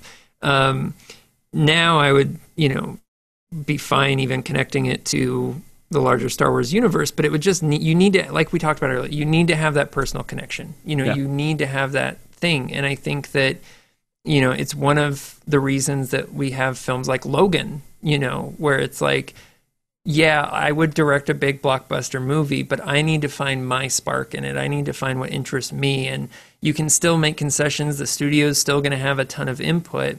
But as long as you still have that one core idea or motivation that is that connects it to you, you know, and that's that's kind of what I was saying with with Solo is that it with the Lord and Miller stuff, you know, like I would love to see that film just because it sounds absolutely crazy. But from hearing the cast talk about it, it does not sound like it was fun. It did not sound like it was going to be a good movie. It was going to be the director's vision, maybe. But at the same time, like, I don't know if I'm just making an assumption here. But my guess is that as much as Lord and Miller are nerdy and love Star Wars, they maybe didn't find that personal connection in the story to Solo that they should have. And so, like, that's why you get this big difference between something like Into the Spider Verse and what it seems like Solo was turning out to be while they were at the helm of like something deeply personal that they really connect to the story and that style of improvisation and really wild out there ideas can really work and thrive. But then you take that into Solo and like maybe they didn't have the connection to it or like they didn't have that they, they weren't answering those questions of like why are we doing this? Like yeah we can improvise a little bit but like why are we improvising here? What the the direction we're going with that improvisation does that make sense for the characters? Does and that was that sounded like one of the biggest complaints from people on the set was that like it didn't like really go with what the story was or what the characters were you know and it just was just kind of wild and chaotic. Um and yeah it's yeah I got a big point being i would definitely do a star wars again but it would need to be like a mandalorian episode or which i think is the genius of the mandalorian is you can have episodes that are kind of meh but they're still fine because like you've got another episode in a week you know so who cares? I think my and they're yeah, still good. my only complaint for the Mandalorian was like I think it kind of fell off in the middle, but like you said, like even though it's men, like we still got more, hmm and then it picked back up. Like I think by the Oh, yeah. time it ended, I was like, "What? Like that's it? That's all we're getting this season? Like what the fuck? Are you So- kidding me?" I want more. My, I know that I am so excited for the next one. My my only complaint with the Mandalorian, because I really, in fact, when I, I was hearing a lot of criticism of it from other filmmakers, um, because we're always more critical. Uh, but I was hearing some criticisms of it, and I'm like, you guys, like this is literally a serial comic. Like it's just one-offs. Like of course you're going to be annoyed that it, it dipped because they're like the main story doesn't pick up as much. And yeah, I think that, That- they that could have sprinkled in the main story a little bit more, you know, but I loved that like old school kind of feel to it of just a very serialized story. My one complaint that really bothered me was actually the most nitpicky bullshit, but it was like for for the fact that Baby Yoda oh, was no. like this super super prized like payday for the Mandalorian, right? He did not do jack shit to protect that baby. no, he did not. Just in in traveling around. Like I remember watching, I think it's the second, is it episode 2 after he like rescues the kid or did he rescue the kid in episode 1 or episode 2? Don't recall. I don't remember. Um, anyway, but it's after he uh, has the he he teams up with the the robot and fights their way, and they save the baby, and then he kills the robot. Um, and then they leave, and the next episode starts with him walking through that canyon, and they get ambushed. Right, even once he knows they're about to be ambushed, like that that that baby carriage has this like stainless or like massive steel cover on it, and he does not like with one push of his wrist, he could have put that cover down, and like half of the issue like baby's way safer you know? And that was like it, that that happened throughout the series where like he's like yeah i'm just gonna leave this like incredibly expense like big payday you know bounty just roaming around my ship. Nevertheless that it's a child but like it's just like you're not going to protect your bounty? Like you're just going to let it sit out? And maybe i heard somebody say like well it's because he's so confident that he can take on anything. And i'm like you know like I if didn't he's the sense smart at bou- all. exactly like if the smart bounty hunter the very first thing you're going to do is like well let's lock this shit down so nobody can sneak up behind me and just like jack him while i'm not looking. Like no, seriously. anyway, really nitpicky, but like that was my one thing that just consistently bothered me throughout the series. Where every time I saw Baby Yoda just being left to his own devices, I'm like, "The fuck are you doing? Like you are the smartest bounty hunter around, and like you're just letting him wander off your ship." or like the, the I think it was the last episode with the two stormtroopers, right? How they Oh, punched. yeah. Which I loved that moment between the two of them, like sitting up on the on the sand dune. Um, So- yeah, Well, so Patrick, um, I think it was like ten episodes ago, maybe. It's been a while. It's whenever the news for the Stormtrooper movie was announced, right? And the hmm what's his name? Taika. How do you say his name? Taika. Taika Waititi, Taika. who is my favorite director of all Yeah, time. Yeah. And so he's at the helm of that, and he directed that episode, and then it kind of clicked. Like, is the Stormtrooper movie going to have that same kind of like humor? Because like that's the most interaction that we've seen with Stormtroopers. That's not like Yeah. you know like the new the new franchise with like Finn and uh Yeah, what's what's her face the Rey. no the Chrome Chrome Dome lady Oh, with uh, Captain Phasma. Fan- Phasma. Yeah, I was about to say Phantasma. Like, no, not quite right. Um, no, no, no, Phasma, yeah, and like, I mean, you know, there was like some humor there with those clone troopers, but like that episode shined a whole new light onto like, oh, they're just people, like they literally are just Mhm. people, like like you and I, just on the job. you know what I mean? And like seeing that sense, like that kind of piqued my my curiosity for stormtroopers, especially if the stormtroopers have nothing to do with Jedi. Like it'd actually be really nice for once, kind of like how the Mandalorian did if we focus on something that does not have to do with the Jedi. Like we, they could be in the background for sure. Like let I all the politics be in the background. Yeah, I would love to do that as like if I directed a Star Wars, like I would love to do something like that where it's like no Jedi, it's just cuz you have to think like I think they they they very lightly try and touch on some of these things and I think the the last if if they had continued on with what the last Jedi was kind of setting up, we would have seen a lot more of this. But the Mm. fact that like if you're not living like in the outer planets where you are dealing with rebels and the stormtroopers who are more totalitarian you, your view of the empire was going to be very different you know like a lot i think i don't remember which of the books it was but one of the recent star wars books that got put out kind of touched on this a little bit of this idea of like you you know for most people, like the Empire is just like uh, I'm trying to think. Um, it was like the Roman Empire, you know, where like you probably like you barely ever saw them. Occasionally they'd show up and like collect taxes or something like that. But for the most part, like you still lived your life once they took over. It was like, okay, we just pay our taxes to a new person now, you know. And I would love to see more of that universe explored. You know, one of the biggest complaints of Star Wars right now is that like there's this massive galaxy far, far away, and we keep following the same goddamn family all around this this galaxy, and we don't see any of the other people. You know, um, but yeah, I think the Mandalorian is kind of shown that there is a hunger for that, and I'm I'm really excited to see some of the other series that are being developed, and I would really love to see more, like you said, of like stormtroopers who like I, I would love like Star Trek Lower Decks. I would love like an animated series, comedy series like that, but it was like stormtroopers who were just stuck on some like far planet who never saw any action, you know, and like most of the series is their day-to-day like misadventures, but then like you know, just before the season finale, like, oh, okay, now a Jedi shows up and like we can get the action a little bit more heightened or something. But then there's still comedy because it's like them being like, the fuck is that? Like, I don't want to deal with this. Like, I just wanted to sit in my outpost and like play cards. Just sees the Jedi like cut somebody right in half, and they're like, "Yeah, I'm done. Nope, I'm like, done.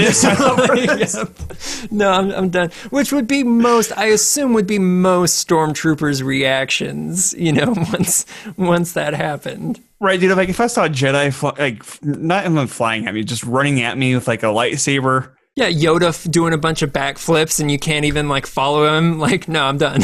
Yeah, dude. I'm like, I'm like, here's my gun, placed on the ground. Like, take my helmet off. I'm done. Like, I will join your guys' Yeah. cause. well, we saw a little bit of that with, um, I think it was it was either the Last Jedi or Rise of Skywalker, where like Kylo Ren is. I think it was Last Jedi, where Kylo Ren is just like smashing the sh- or no, is it? I don't. One of them. I don't know. When Kylo Ren's smashing the shit out of a room and the two stormtroopers come around the corner and they're just like, nope, and then they turn around and walk away. oh, that was, I think that was the Force, Awakens. That's the Force Awakens. Yeah. Oh man. Yeah. They, they turn the Uh, corner and they like see those sparks fly out of the room. And they're like, turn Yeah. like, completely around. Yeah, like I would love to see more stuff like that. I think there's so much room for comedy and to be blunt, like good storytelling. Because as much as I love Star Wars, like it's very, even at the best of times, is very paint by numbers, hero's journey kind of Right. storytelling. And it, it- especially with the idea of like gray Jedi and that again nuance, you know, going back, um, having more nuance in those discussions instead of just good versus evil. And like that's why I loved The Last Jedi so much was it set up like hey this isn't just about the Skywalkers. It's not just Sith and and and Jedi. Um, and I was really hoping with The Rise of Skywalker that that's how they would kind of end things was with Kylo and Rey saying no I'm not Jedi I'm not Sith we're just going to be people and like do our thing you know? And they kind of hinted at that and then at the end they have Rey go i'm a jedi and it's like okay well that just kind of threw that out the window you know so much for both of the because that set up with like you know the as much as i don't like the Canto Bight scene in um the last jedi uh, I love that scene. I know I, I, I can go into detail about it, but go on. yeah i just thought it was it was kind of lacking like I, I get why it was there as a story element and it and i really liked what it was trying to set up but i i also felt that like i don't know anyway it was just it just didn't quite connect for me um but yeah like what they were setting up there of like no these people this bigger world you know of these guys who sell arms to both sides of the war and like there's just there's so much more depth in Star Wars and in Star Trek and in all of these franchises that we have right now that just don't get explored because studios are hesitant. And I get it, they're spending millions of dollars on these productions, so they don't want to take too big of risks, but like being timid is is far more off-putting than somebody who takes a risk. And especially right now like you said with Star Wars being so divided in its fandom, like pick a side, you know, like just let a director make a decision. And that's something that again trying to link it all back into filmmaking because I, I feel like we've just spent most of the podcast nerding out and not actually talking about filmmaking, but that's fine with me. Um, hopefully the audience doesn't mind. Um, but linking that back into producing, that's that's another thing that's hard to learn as a producer is like when to give up. Yeah. I guess if that makes sense. Like in an argument, like there have been plenty of times where I have known full well that like a decision was going to make production more difficult. Like if it's going to ruin production, I won't back down, you know. But if it's at the end of the day, if the director really wants it and like, okay, like, well, th- this is your story to tell, and I'm gonna back down here because this is your story, and you'll find out you know, one way or the other, whether the audience is going to be receptive to that. And I may be wrong, and I am always willing to be like, yeah, I was totally wrong on that, you know, and I've been proven wrong before. But most of the time, like, I, I feel like I'm, I'm usually, you know, proven correct that, you know, there's these things that, you know, you you know that you're in the right on but you just have to learn to say like okay you know what? We're going to let you go with it because you're the director and i came into this project because i want to help you tell your story. And if i get mad because you don't agree with me i am not helping you tell your story. And we would not have films you know like hereditary and like uh just, and pretty much most of a24 like i love a24 because even their b movies like that are just generic. Yeah, like even like not even fucking awesome. The movies that are like kind of meh, you know. At the one thing they all have in common is they had a director's vision in them. Like you may not like the story, they may not be plotted very well, or they may get boring in points, or whatever the critique is.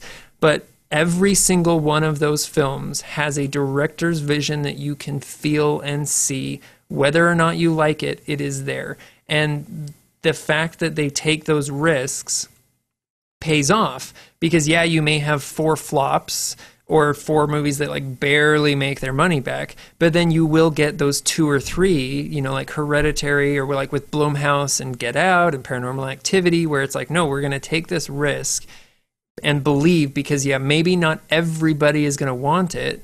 You know it may not hit all four quadrants but the people who see it are going to love your vision and they're going to be passionate about that and they're going to support the film with far more passion than if we were just trying to appeal to everybody. And i think that's where star wars has kind of gone wrong is you know you look at those original the original trilogy um, and they they really like they do take some risks with the way they go and not all of them are, are great. You know we can all be as much as we love the original trilogy like there's some stuff in there that's like eh, okay you know? Um, but the point is like you you have to like i said the job of a producer is to get the film done while protecting the director's vision as much as possible. And you have to be able to do that whether you are the director or the producer. You know it's, it's harder to step back and be objective when you're the director um, and that's why i feel like i label myself as more of a producer even though i mostly have produced my own stuff when i produce for other people i find i do a much better job because it's just so much easier to kind of step back and be objective and and help guide things without having a forceful hand um, and when you're both the director and the producer, that's next to impossible to do sometimes. No, for sure. Um, yeah, directing and producing all at once. It's a bitch. It is really hard, and I Especially would definitely rather avoid it. yeah, especially if you're also the writer of it too. Like it's definitely your vision if that's the route you're going to go. Yeah. But like also no, yeah, it's it's uh it's trial and error in that sense. yeah, I definitely make sure that I, if I am like uh, using Nomads as the example, I was very hesitant with Nomads because I also had to act in it because our actor dropped out, um, and that's uh, it's a huge red flag for me. Like whenever I see writer, director, producer, actor, everything, you know, and it's not always the case. Uh, Quiet Place is the perfect example, you know, but at the same time, like, yeah, um, um, why am I blanking on his name? Uh, Jim from The Office. Um, John Krasinski. yeah, John Krasinski. Um, like he didn't write a quiet place, but he took a pass at it. You know, he directed, but he was working with a very accomplished cinematographer and a production team who could help kind of guide him. So even though he was acting and directing, and I believe he is listed as a producer or a co producer or something on that as well, you know, he made sure that there are those checks and balances in place because if um, you just power forward with nobody to put you in check, like not all your you could be a genius and not all your ideas are going to be great Stanley Kubrick, I think, is an excellent example of like some of his films. You can tell he had somebody there to kind of like, yeah, let's pull that back a little bit. Whereas he's got some other films that it's like nobody told him no, you know, and he's not the only director to have gone through that. And I think maybe, you know, that's another possibility of what could have happened with Solo is like, Disney was like, "Hey, you had all this success. Like, we're just going to turn you loose." And then six months later, they're like, "Oh shit! Like that was maybe not the best idea. We need to rein you in a little bit." You know. Um, so yeah, you just you need to have somebody there to kind of put you on check sometimes. That's why I love working with Justice. Is even though he's a cinematographer, before he ever talks about lighting or anything like that, he makes sure that he understands it from a writer's and or from a story perspective first. You know, and he does give a lot of notes. Like if if anybody ever you know has the chance to work with him, I'd highly encourage it. But you better be open to to some criticism and some notes story wise because and and 90% of the time I'd say go with what he says because he's got v- amazing insights you know and you know whether it's justice or whoever else like just find your person you know find somebody who you trust their storytelling and their craft and be willing to open up and send your script out Personally, I don't think that somebody should go into production on a short film until their script is at least in the seventh or eighth draft. Like most of mine hit 10. Uh, our last short film, Neighborhood, technically only had four, but there was also like draft four version five. You know, like there's lots of point point five and point sixes that, that go. It changes paragraph change. around. yeah, um, but yeah, I do that where I label every single script that I have with like D five V six. You know, and I. I save as and I keep all those different versions so that I can always revert back to them, you know. But that's you, what, that's what I do, yeah. Yeah, and it's really helpful. But I really think that like you should not you shouldn't send it out for feedback until like maybe your second or third draft. You should not be going into production on a short film until you get into your seventh or eighth, maybe even ninth.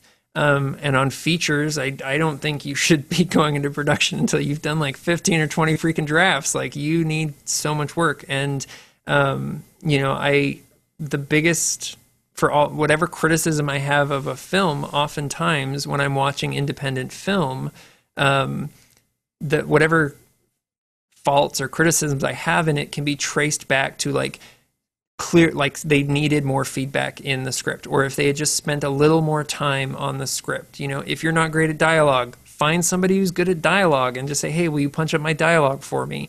And you don't have to take everything that they suggest but like have them go through it. And you will learn that way and eventually get to the point where maybe you don't need to be sending it out for dialogue as much because you develop those skills but at the end of the day, you have to surround yourself with people who aren't just wanting to do the same thing as you, but who are pushing you forward, either because they are better or because, like you, they constantly want to be better. And I have worked with a lot of people who are very passionate about movies. They love movies, they like being on set, but they don't have anything, they don't have that motivation behind them to improve. Um, and and there's nothing nothing against them, nothing against their films. It's just like you need to be able to have that because that's how we learn and we grow and improve. Otherwise, you're going to make you could make 50 short films and you're never going to get any better. Like maybe you improve on small things here and there, but overall like you're you're going to hit a ceiling. And in order to break through that ceiling, like I, don't even know if breaking through the ceiling is the right way to say it. I would say you need somebody to reach down and grab you and pull you through that ceiling. Um, because you, once you hit it, you won't be able to figure it out yourself. There is a ceiling to all of our skills, and that it's not an uh, like a hard to find thing that you're never going to get any better. But you will hit a point where, without a mentor or without people around you who are going to push you forward, you're never going to get any better. And as much as I love making movies with my friends, that's probably the biggest culprit of that is like, hey, we're just making movies with friends, and that's awesome. It's really fun. I love it too. But at the end of the day, like your friends probably aren't going to be those people, you know, and and you need to find those people. And I am sure I have pissed off friends or made them feel slighted or uh, unintentionally, you know, because I didn't work with them again. And, and it's nothing to do with them personally. It's just like I didn't get that vibe. You know, I, I didn't feel that push or I didn't feel like they were on the same page. And there's nothing wrong with that. It's nothing against them. But you have, if you want to go anywhere in this in this industry, whether it's writing or as a director or producer, whatever it is, I'd say that is the biggest thing you have to have is that group of people who are going to keep pushing you forward. They don't always have to even work on your films. Uh, Nick Fry is probably one of the biggest mentors I have. He he is one of the most knowledgeable people about filmmaking I've ever met. Um, I have never worked with him before. I've never had the opportunity, but I send him everything I do because I know he will like without holding back, rip it apart, critique it, tell me how I can improve, tell me what I did right, tell me what I did wrong. Um, and every phone call I have with him lasts like three or four hours. Um, but I learn so much from from those phone calls. And yeah, I just find a mentor, like find somebody. Yeah, I I uh, I agree with you on like all of that. Actually, there, there's a there's a point where you reach when you like you know if you it's fine to make uh, films with friends and mm-hmm. especially um because in well like if you're working in, in the industry to some extent like you're gonna have the film friends you know mm-hmm. but in a way they're gonna be like partners like work partners essentially kind of like if you yeah. talk to people in your office you know outside of work like it's just that kind of dynamic but um I think there's one filmmaker, filmmakers, a group of filmmakers who might still work with their friends, and I, I think that's more in like the subgenre of like mumblecore because they yeah. need all the help they can get. Yeah, and with indie film, you you are gonna need yeah. that help, but at the same time, you don't get you can't get complacent and yep. like it, it's again it's about setting that goal and that standard of what do you want from your career. If you just want to make movies with your friends, that's fine, but be honest about it. You know, be honest with yourself and with your audience of like, hey, we're just a bunch of friends and we're out here making films. Don't, you know, call yourself a production company and try and you know get clientele or or or you know post on social media saying how awesome you are you know whatever else it is like if you let ego get involved you know it it will be your downfall every time. And, and that's the trickiest thing to handle it's so hard yeah. It's so hard to do you know and so i don't judge anybody on it you know and i try very hard to to be clear when i am being critical of someone that like hey it's nothing to do with them personally but it's just it, do you want this to be a hobby or do you want it to be a career? And if you want it to be a career you have to be willing to tell your friends no. And that's like, it's the whole reason why you have that too many cooks in the kitchen problem on a lot of indie sets where everybody wants to give their opinion and then it slows production down or things get confusing. And it's just like, you, you cannot do that. You know, even if you're making movies with your friends on an indie level because you can't afford to pay anybody, which is what we do, you know, we, we have, I have had one production that I've actually been able to pay my cast and crew on. Um, but you have to be able to still set that standard of like hey we are friends. We're all here just to have some fun which is awesome but we're still going to run things a certain way. We're still going to be critical of each other. We're still going to you know you there was a great quote from a film courage video. I don't remember who the person they were interviewing was but um, they basically said like the the question was how do you find a good producer or how do you find a good producing partner? Um, and they said like you need to find somebody who you can get into a screaming argument with and still be able to work with the next day because you both understand each other, you're coming from the same place, you have the same goals, and you know that this is not personal. This business is not personal. And that that big production I talked about that fell apart, that was where I really learned that lesson. Is like even if you are making movies with your friends, this is it's it's reason it's called show business is because this is a business. You need to try and you don't always have to try and make your money back. I've I don't think I've had a film yet where the goal was to make money back, you know. Um, but you still need to be trying to have some goal of either building your audience or making money back or whatever that may be, you know, and um, in order to do that, you have to be able to set those standards, you know, and you have to be able to enforce those standards. Um, and I have been on a lot of indie and student productions where it was just a group of friends and they were not able to do that. And it really affected their production. And the filmmakers were n- oftentimes never even aware that it affected production because they're like, yeah, it was awesome. We had fun. It was a good time. We had, it was the perfect set. We had no problems on set. I'm like, really? You had no, no problems. You didn't have a debate. You didn't have an argument. You didn't have you had no problems. Like I, I cannot fathom that on a on an actual film set, you know, because that's what is going to push you forward is having that debate with somebody, having someone there to put you kind of in check sometimes, or to even if you still go with your gut, like to at least um, kind of resist you a little yeah. bit and and kind of have that, you know, question you. Like always have somebody who's going to question you. Yeah. No, I fully agree. I I agree. I, I, that's all I can say about that. yeah. I know. I feel like it's it's uh, it's been a awesome conversation. I feel like we've touched on like every every topic except like like any of the stuff we originally were going to talk about. um. Well, let's talk about something that's more relevant then. Uh, I, I did mention it. Your festival. You yeah. you had a festival play over this last weekend.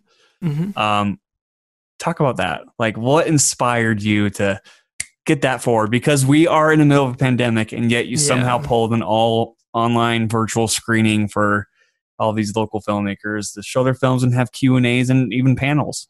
Yeah, it was, you know, we called it the One Story, One Community celebration, but Which, it was a film festival, you know, like as far as how we ran it for sure. Yeah, and when I I love that name, uh like when you I don't remember if you told me that's what the name was going to be or if I just um came across on your website. I don't remember exactly how I came across it. Mm-hmm. It's been a it's been a long oh yeah long quarantine, but um, I just like the the the the vibe that that, that gives off like one story, one community, right? It's like it's so inclusive of like a whole mm-hmm. community and how they're trying to tell one story and the one story is not the same but the one story is like they're, they're still trying to tell one story you know and like yeah. that's that's the moral of the story is that like they still told a story as like one whole community you know like Absolutely. it's so fucking badass and it's kind of a that that that name uh, maybe not super consciously, but as I've come to think about it more and more, it really comes from. I'm a big history buff. I, I really have always loved studying history, and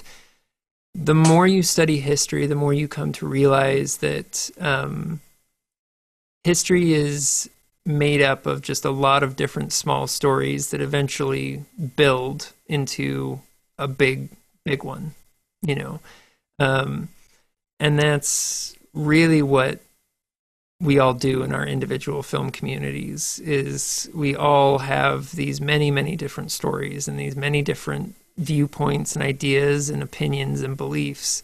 Um, but you know we're it, it's hard to step back and acknowledge that when there's something so massive happening, like a pandemic, you know, or I'm sure like um, many people, because uh, when I study history, it's less necessarily about dates and stuff, but I just love reading stories from people who were in those times. Right. Um, and the just the normal people how did normal people affect like it's cool to read about the leaders and the people who made these big decisions but i'm more interested in in the smaller stories of the people who had to deal with the consequences of those decisions, you know, um, or how they, you know, were mostly forgotten to history, but had some big effect that even they didn't realize at the time.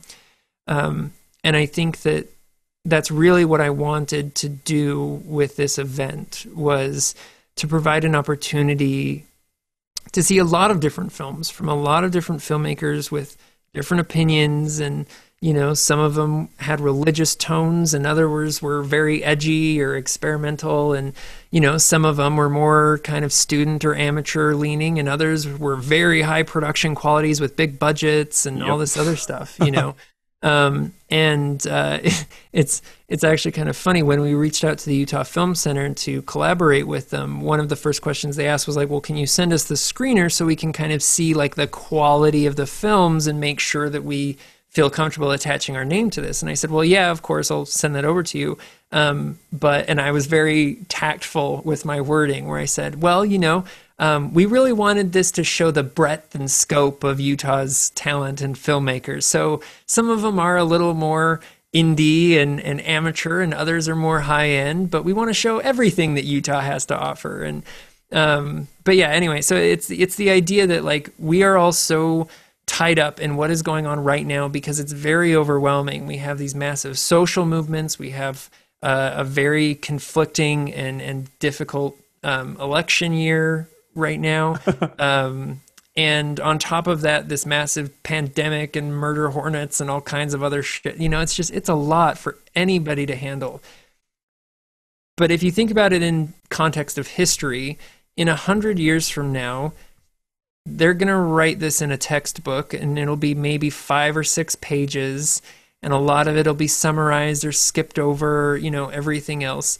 Um, so I think it's just, I, I thought it was important for us in the moment to take that step back and and to see that bigger picture of Utah's film community and and what we have to offer um, and the different talent and the different ideas and opinions that are that are involved in that. Um, as that that that's more to the name as far as what actually inspired making it. It was um, I, I've worked at Slam at the Slamdance Film Festival for the last couple of years, um, and even before the lockdowns had hit, um, just as it was kind of being classified as a global pandemic, um, I had friends in a lot of other countries who were talking to me and telling me about how bad things were getting there. While uh, here in the States, it was still very much an attitude of like, ah, that's happening other places. It's not going to hit us here. It won't be that bad. Or, you know, oh, it'll Boy, probably. We speak too soon. I know, right?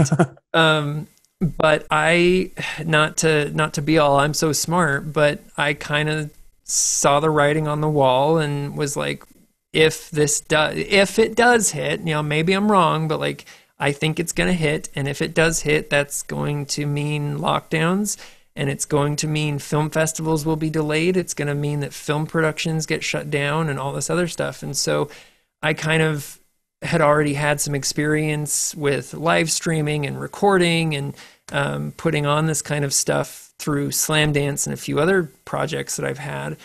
Um, and so I kind of jumped on that and uh, reached out to Slamdance to ask like what their plans were um, if this did if the event did get canceled.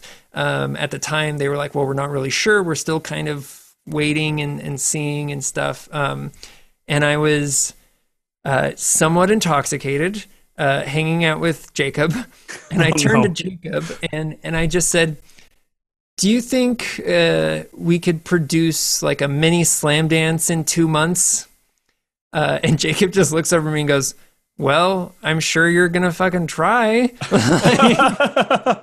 because he knows me and he knows like anything I have that's like an idea, even though I say it hesitantly, I'll inevitably try and and follow through on. Um, but yeah, it started as this like, well, let's see if we can just do what Slamdance does with their Polytechnic workshops and their screenings and stuff, and just shift it to an online platform.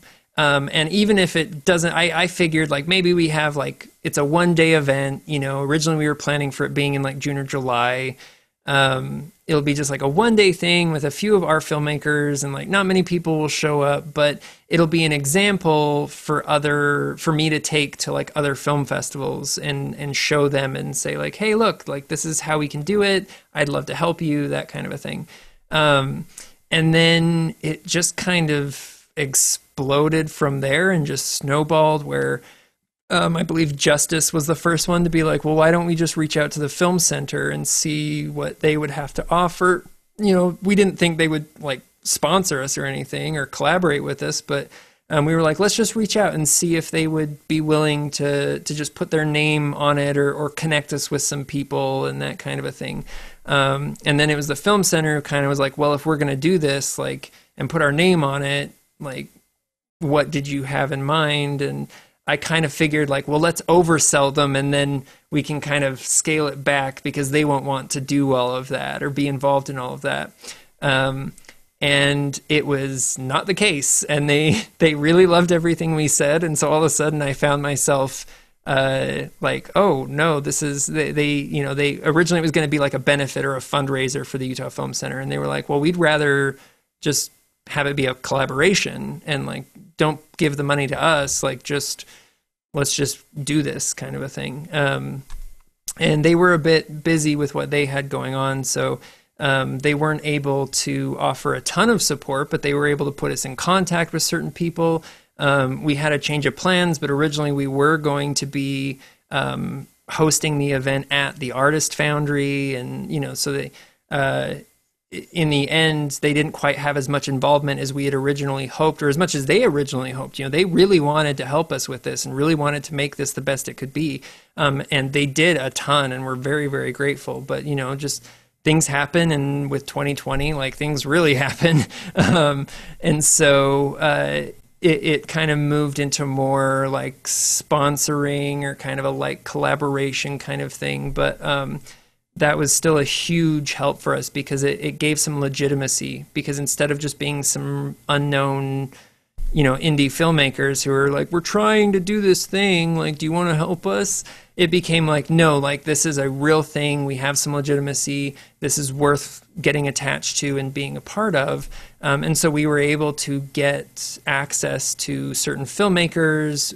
Uh, you know a lot of there were several films that um, weren't even fully done yet that the filmmakers were finishing up that they like kind of sped up and and hurried to finish up so that they could um, premiere it or give like a sneak preview screening as part of the event you know so it, it was a huge huge help.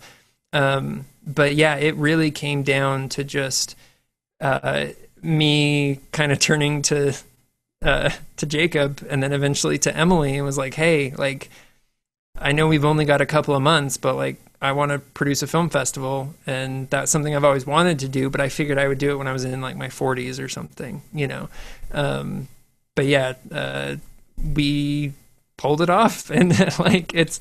Uh, I was not. I was constantly having anxiety, thinking that there would be something going wrong, or that you know, and you know, there again, I'm very self-critical, and so there were certainly mistakes that were made and things that I would like to do better. But in terms of the actual event, like it went great. People had a really good time. It really, you know, going back to what we were talking about about what is the goal or what is the purpose of this, you know, um, it really fulfilled that goal of of bringing people together, of showing what Utah has to offer, of um, of providing an opportunity to filmmaker for filmmakers to connect and interact in the middle of this quarantine and all this stuff and it's been um, it, has been a really hard road to get here, and there were a lot of moments where I did not think that we would make it, but seeing the responses from the filmmakers and then eventually from the audience as well was just overwhelming and made everything so worth it because um, they you know it, it, was a lot of just gratitude from them of just like thank you so much for just putting this thing on and providing this opportunity for us all to connect and get together because that is something we've all really been missing. We're we're filmmakers. Even though a lot of us are introverted we're still very social and we want to work with people and we want to connect and we want to go to film screenings and watch movies together. We've all most filmmakers wanted to become filmmakers because they sat down in a theater when they were little kids and were just overwhelmed by an experience and and desperately wanted to find out how to replicate that experience you know and um and i think that that has kind of with covid and with the lockdowns kind of i think maybe people have forgotten or longing for or one thing or another, but people have kind of lost that. Um, and I, I, really wanted this to just be an opportunity to to provide that for people, and, and I think we I think I think we did. I think you did a fantastic job at putting that together. Thank you. I, I uh, I was gonna say like there was a lot of gratitude because it was a long email thread of people saying thank you. It was. It was a very a long, email reply thread. all email thank yous. I'm like, man, this is so I know cool. that Like, was. I we, hope we Michael probably should about have. it. Yeah, we probably should have like BCC'd instead of just sent it on to everybody, so not everyone was having to get infinite email notifications. But yeah, it it has been a great outpouring of love and support, not just for us, but for each other. I think that a big thing for me that people who were watching the event didn't so much get to see was in the because we use Zoom to set it up. So in the Zoom waiting room, when filmmakers would come in and, and be prepping for their Q and A to start or for their panel to start, hearing them talk to each other and um, be able to meet people who they'd maybe looked up to or had been watching for a while but never had the opportunity to actually meet. Um, and there were a few people who I actually heard discussing collaborations and and dis- you know and as a producer like that is one of the best feelings for me is even if I don't ever get credit for it knowing that I helped facilitate this new relationship or this new collaboration and that that's going to hopefully result in some piece of art or or filmmaking that's going to impact people. And um, bringing you know a, I'm bad at this, but like allowing myself a moment to bring in ego of just like that feels pretty damn good, you know, of of like knowing that I helped possibly put these pieces on the board and um and that you know what we're doing is is going to have long-term effects and I may never see them and I'm totally fine with that.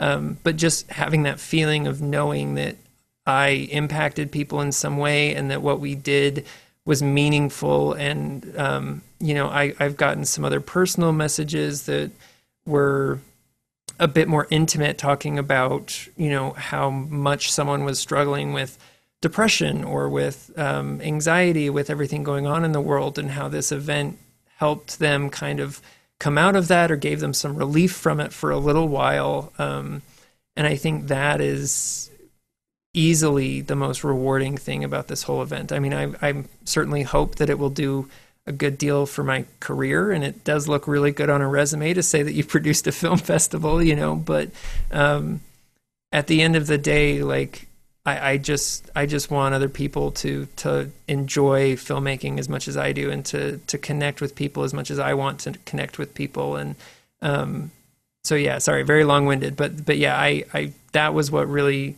sparked this event was just the isolation that everyone's been feeling um, and wanting to provide some kind of relief for that in whatever way that we could. And uh, it was months of work for two days, but I, I hope that the effects of that will um, be more long lasting and that will it will give some kind of relief for for people right now.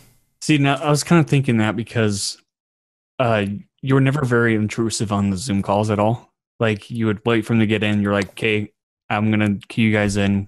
Like when the credits start, you know, like I'll hmm talk to you guys, and then like you just like opt out. Like you turn your video off and your mic off. Yeah. And like I was listening to them because like you know I was on Zoom call for like a day, um, hmm and just listening to them talk, and I'm like, dude, if Michael's listening in right now, like he'd be fucking smiling, like I was Like- a lot, yeah. yeah. Yeah. And so I'm I'm glad that like you're able to like do that, dude. That's not a lot of people could say they they've done that. No, it's and and I will, you know, it does feel good and it's definitely an accomplishment. Um I don't think it's fully sunk in yet as far as like the magnitude of what we pulled off. I think that was the biggest shock was I thought like I mean, it was a ton of work. It was 4 months of Right. um I had to I I quit my job basically. I moved I in the middle of this for some other reasons. I had to move back in with my mom and then at that point I was working downtown and having to commute downtown plus work on this festival and everything was just a bit too much. And so I got a part time job out here, quit my other job, um, drastically like tightened up my budget and my belt a little bit, um, and just put all my energy into into this event. Um, but even with all of that, like as much of hard work as it was, I could not have done this without uh, I mean Jacob, but also particularly Emily Gardner, who was our program coordinator. Like she handled so much of the communication, drafting the emails. You know, I was able to just focus on creating the assets of organizing the actual schedule and curating the films and doing all that kind of stuff. Um, while Emily handled the far more tedious and far more stressful day to day, you know, communication things. And, um, you know, it was, I, I guess, uh, sorry, I guess what I'm saying is that even though it does feel very good for me personally, and yes, it, it feels great to have people acknowledging the amount of work that I put into it.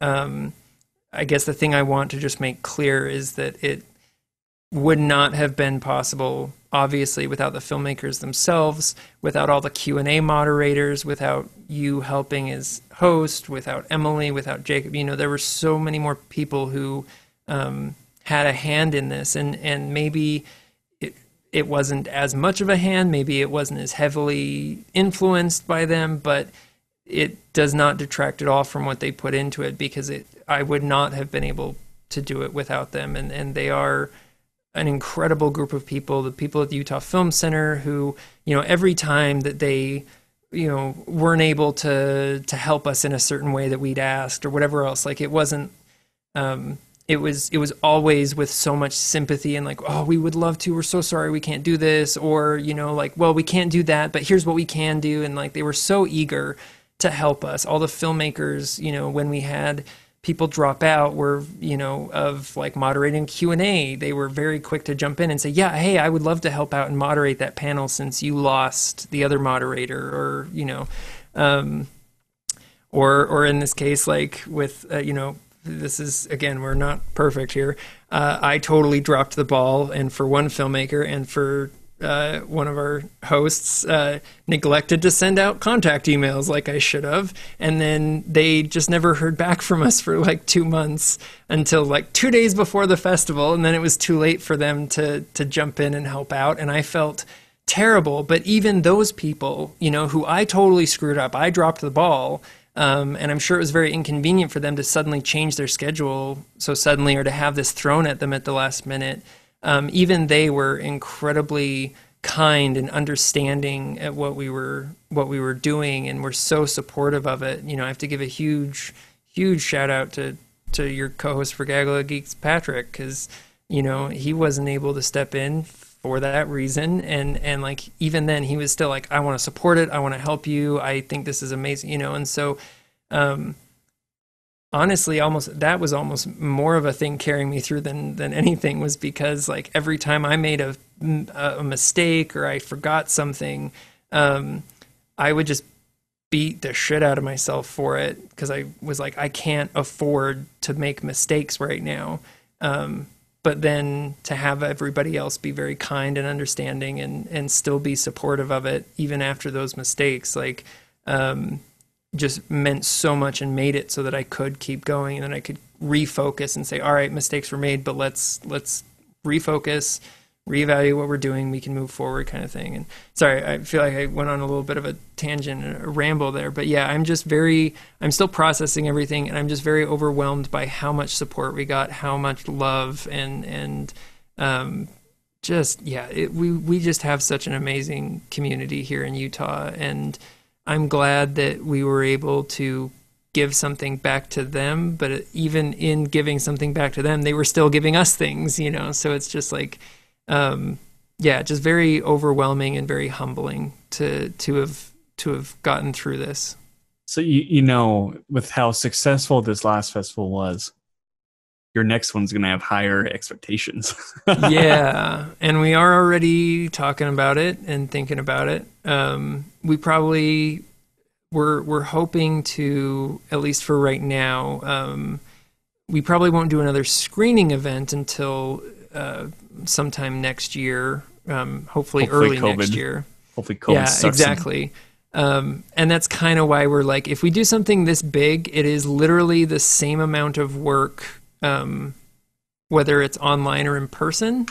Um, and so we, if we're going to put that amount of work in, I would love for it to be in person this time.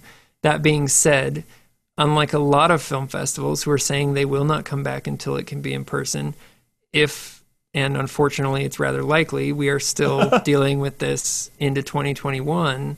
Um, we will do another one of these, uh, hopefully early in the year. But until then, um, we're actually going to be taking the discussion panels that we did and expanding on them. So we're taking the six discussion panels that we did for this event. We're going to be posting them onto YouTube and onto podcasting platforms. Um, and then we're going to be trying to arrange similar Zoom roundtables um, for filmmakers to discuss uh, the, their craft and what they've got coming up and things like that. Um, I would love to do a few film screenings. I know it's kind of, I mean, we had 23 films and we were kind of not scraping the bottom of the barrel, but like it was becoming harder and harder to to find other films that were made recently. There are lots of films made in Utah, you know, but ones more recently uh, is is definitely getting harder and harder thanks to to COVID. Um, so I think waiting to do a, another screening event until next year to kind of give some filmmakers time to finish up films that were in post right now or that you know now that productions are kind of starting up again hopefully finish some for now.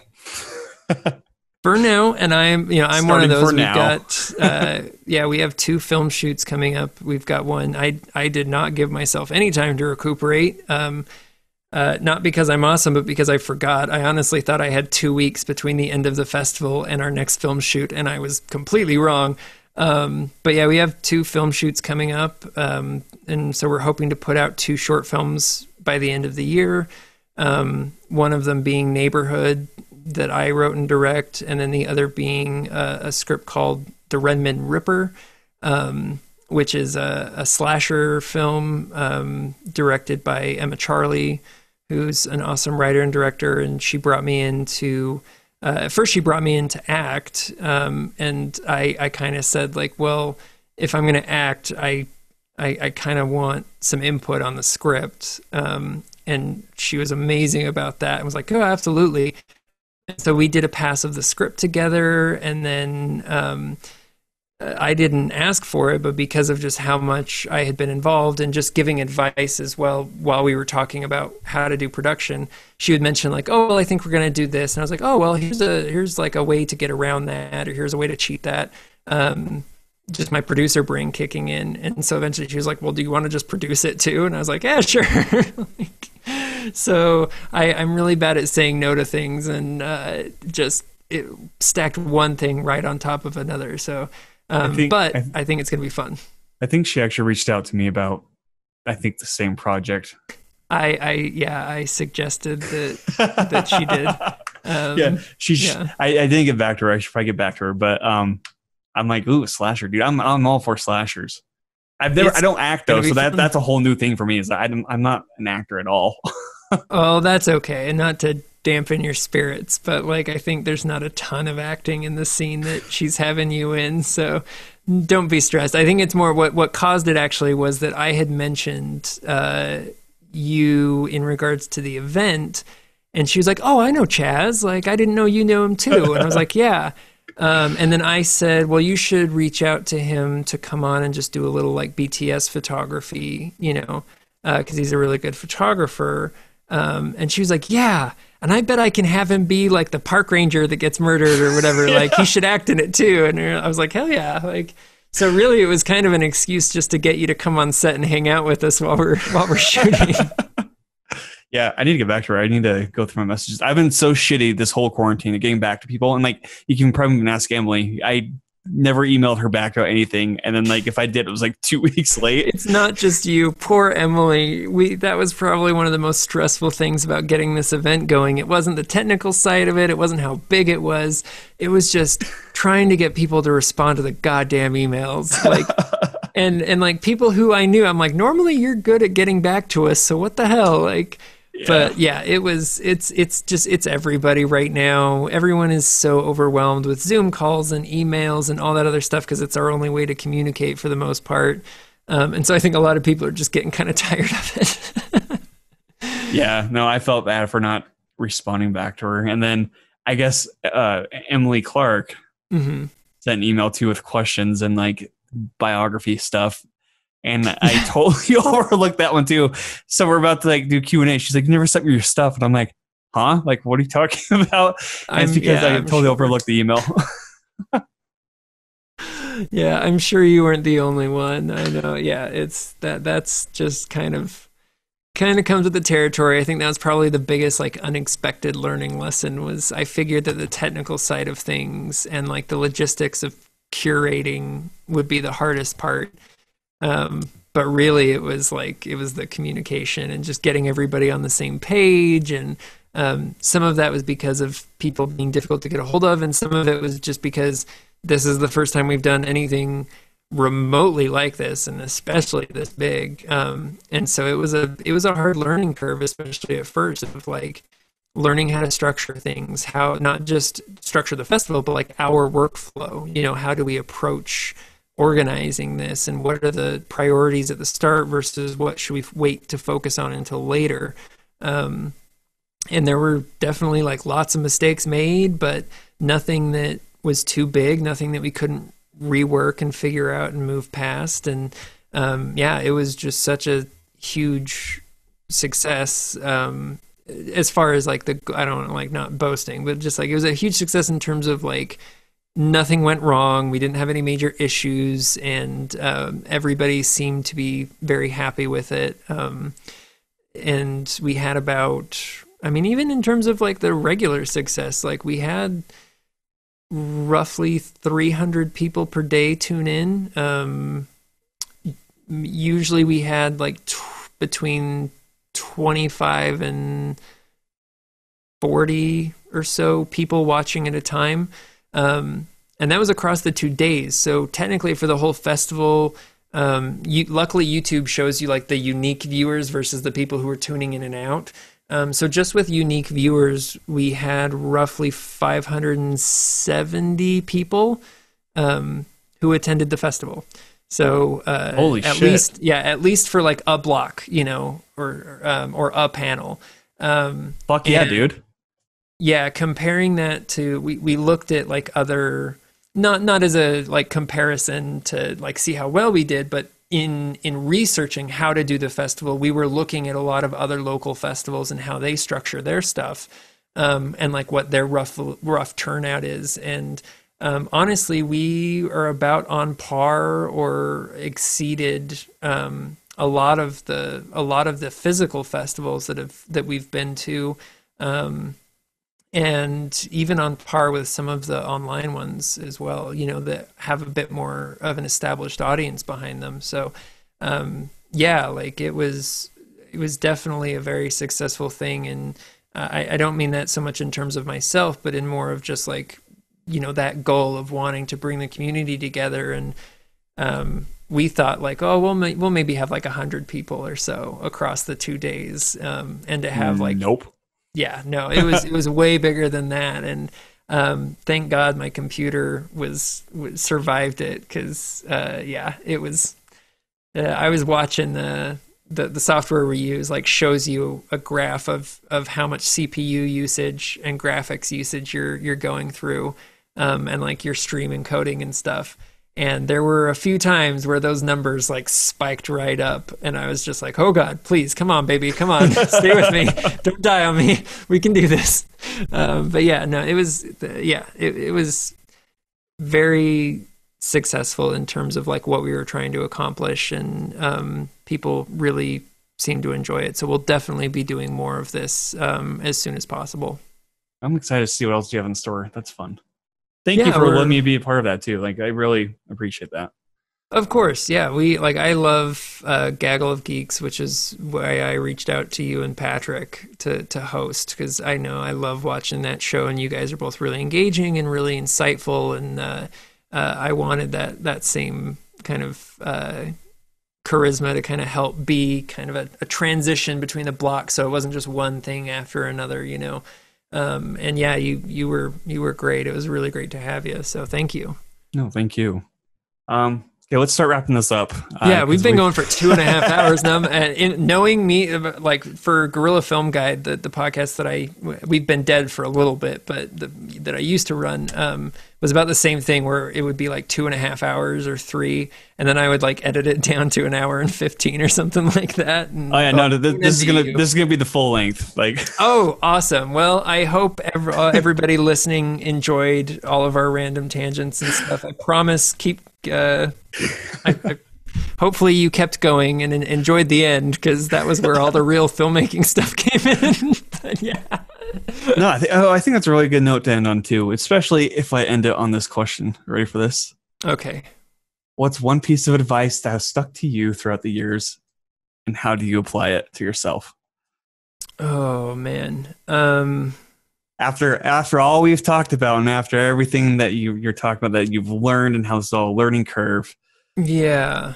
Um i think there's lots of pieces of advice that have really stuck with me. Most everything we've talked about has been like something that i learned from other people and took me forever to apply it to myself. Um so instead i'll say the thing that i think i'm still and probably will always be working hard to apply to myself, and that's to um, just to be forgiving of yourself and to keep going forward, and to know that if you love filmmaking, if you are passionate about storytelling, um, whether it is comic books or movies or, or through music or whatever it is, um, if there is something that you have that inner drive and that desire, like we talked about earlier, um, do not give up. No matter how much you fail, no matter how many times you want to give up, no matter how many times it fucking breaks you, like just keep going. Even if you are, you know, you have to work that day job or whatever else, like just keep going because I can tell you, like, for anybody, I mean, I, feel weird saying this, but uh, if anybody is like looking at what we've talked about and and um, doesn't know me and so assumes that all the things I'm talking about are actually like way bigger than they actually are, you know, um, I there have been so many times in my life that I have wanted to quit, that I have felt like I was done, that I made some mistake and it would ruin my career. You know, that big project I talked about that fell apart. Like I thought for sure no one would ever want to work with me again. No one, you know, it would ruin me. Um, but it's not true, and it doesn't matter. I guess the other part of that is like don't look at YouTube views. Like they do not mean a damn thing eh, at all. Um, your audience you, you will find them eventually you know and and they will be the most passionate people and they will love your work and you will be embarrassed and humbled by how much they just gush over your films when you think they're terrible you know like but you will find that audience you will find your success. You just have to you know sometimes you might have to shift your perspective of what success is or how you define that. Um, but if you have that passion keep going because you will find it eventually. It may not be what you expected, it may not be what you initially wanted, um, but eventually you will find a way to fulfill that drive and that desire for creativity. And when you do, it will be the most just um, euphoric feeling in the world. Um, and I can honestly say, as much as I love all the films I've done in the past, it wasn't until we wrapped um, on this event that I kind of had that feeling really for the first time. I mean, I've been elated every time I left a set completed or every time I released a film. Um, it has been a euphoric feeling and I've been very happy. But in terms of like an overall for my career or for for us as a as a company, um, it it wasn't until we wrapped on that on that event that I really was just kind of uh, it wasn't even like a, an excited hyper like oh fuck yeah you know? It was it was just a like a calm a, a very contented calm feeling that washed over me that was like no i am for all my imposter syndrome like i am good at this and maybe this event doesn't springboard my career but i know that eventually i will hit it you know? It wasn't that i have hit it but it was just that very calming knowledge that eventually I'm going to get there and I have the drive to do it and I have the skill set Um, and anything that I don't know or don't have the skill set for, I know I can learn. Or as a producer, I know that I can find people who do have that skill set. And it's just about patience, it's about communication, um, and it's about being forgiving of yourself and, and being patient with yourself because it's, you know, it's been five years, six years for me, and that has felt like an eternity.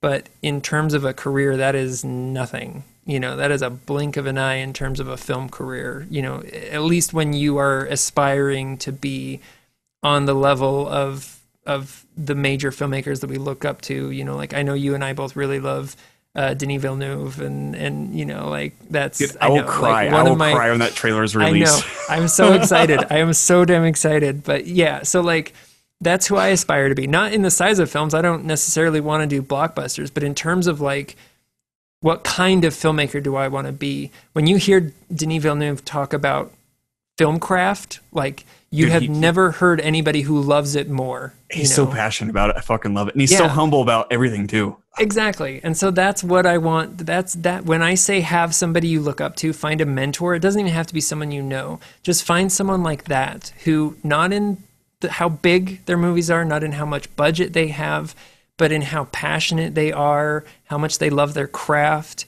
how much they are continuing to learn. Find those people and look up to them because that is what's going to make your work better by not comparing yourself and feeling bad about it, but comparing yourself and saying like, "Hey, I'm not there yet, but that's where I want to be and I know I can get there."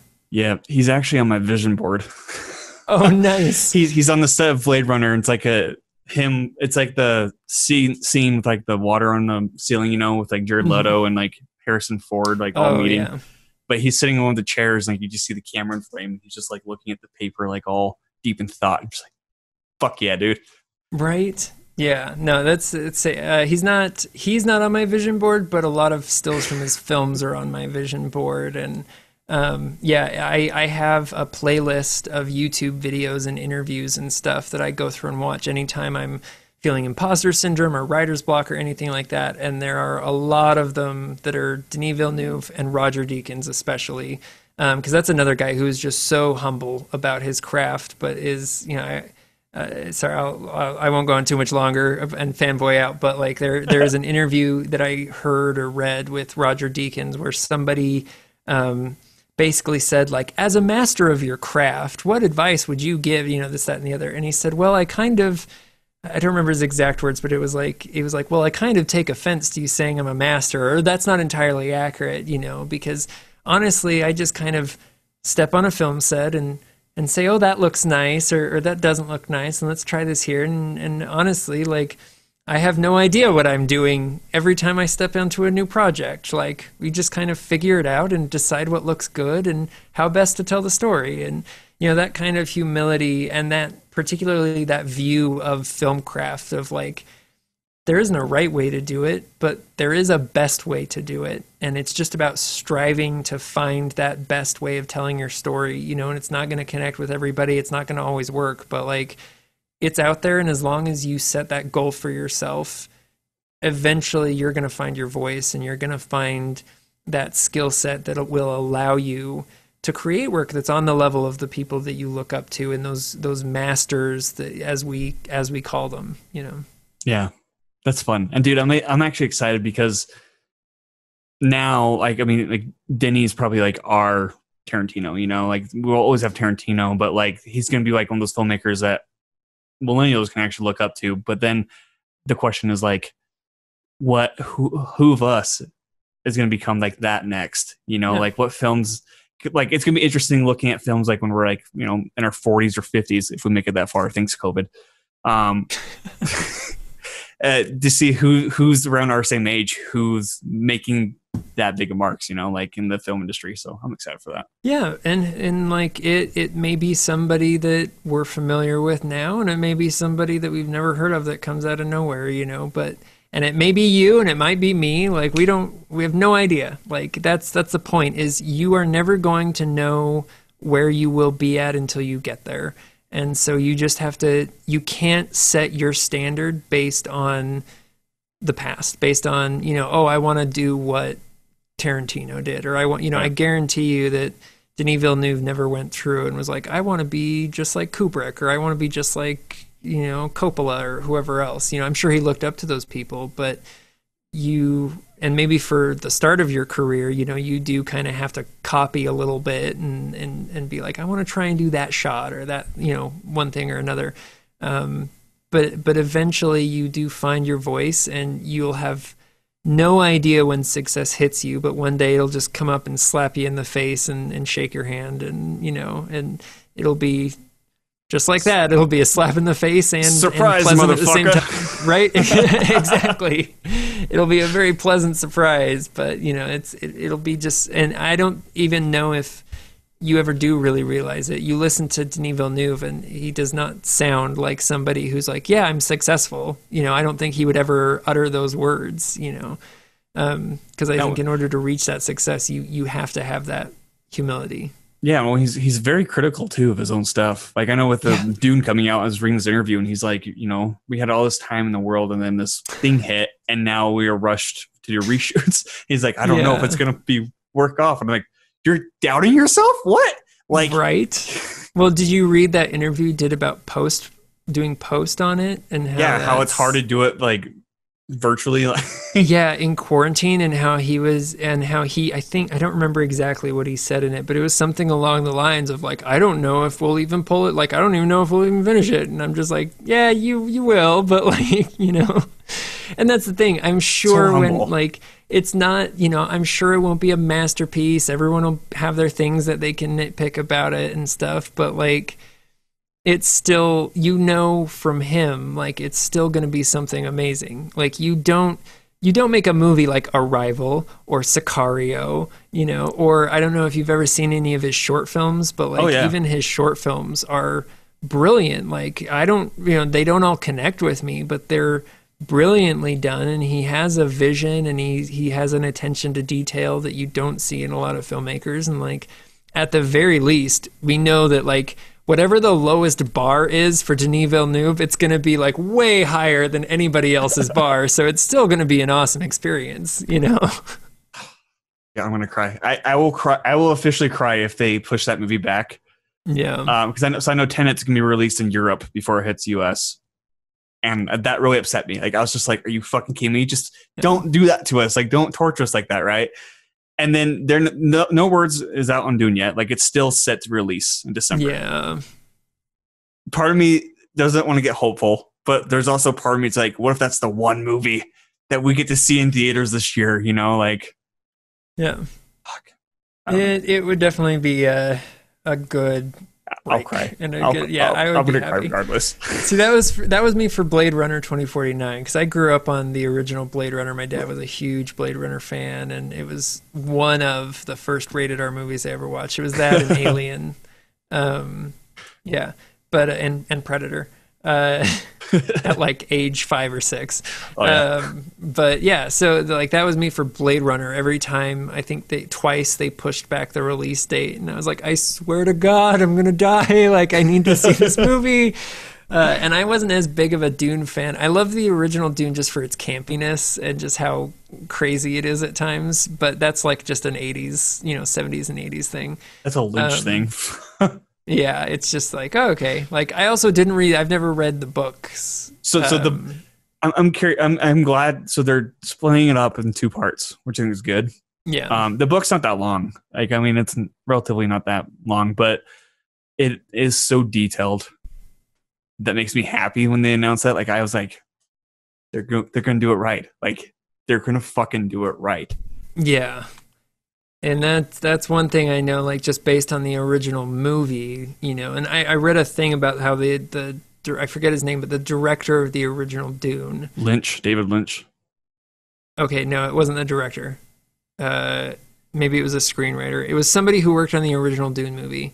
Um, basically said like it's impossible to do a good Dune movie, and so you just have to hope for like the best like take on it, I guess, ba- or the best adaptation specifically. Like it's it's a book that's almost impossible to adapt because of just how complex it is and and all of that. I have, I do, if anybody could do it though, I think Villeneuve can like at least get close, like the most close yeah. to it. You know, I was gonna say like I, I again, I haven't read the books, but like uh, Arrival was a pretty layered, complex storytelling. You know, so Even if like he can pull that off, I'm sure he will. Uh, again, you know, even if the low bar is here, like for for Denis, that means it's way up here. So I I am super excited. Yeah, and I mean, it, also enemy is like very complex and it's not Oh, easy to understand. It's like he's great at mindfuckery and like thrilling mindfuckery, like, and he doesn't like make like he doesn't make it easy for the audience. Like he purposely like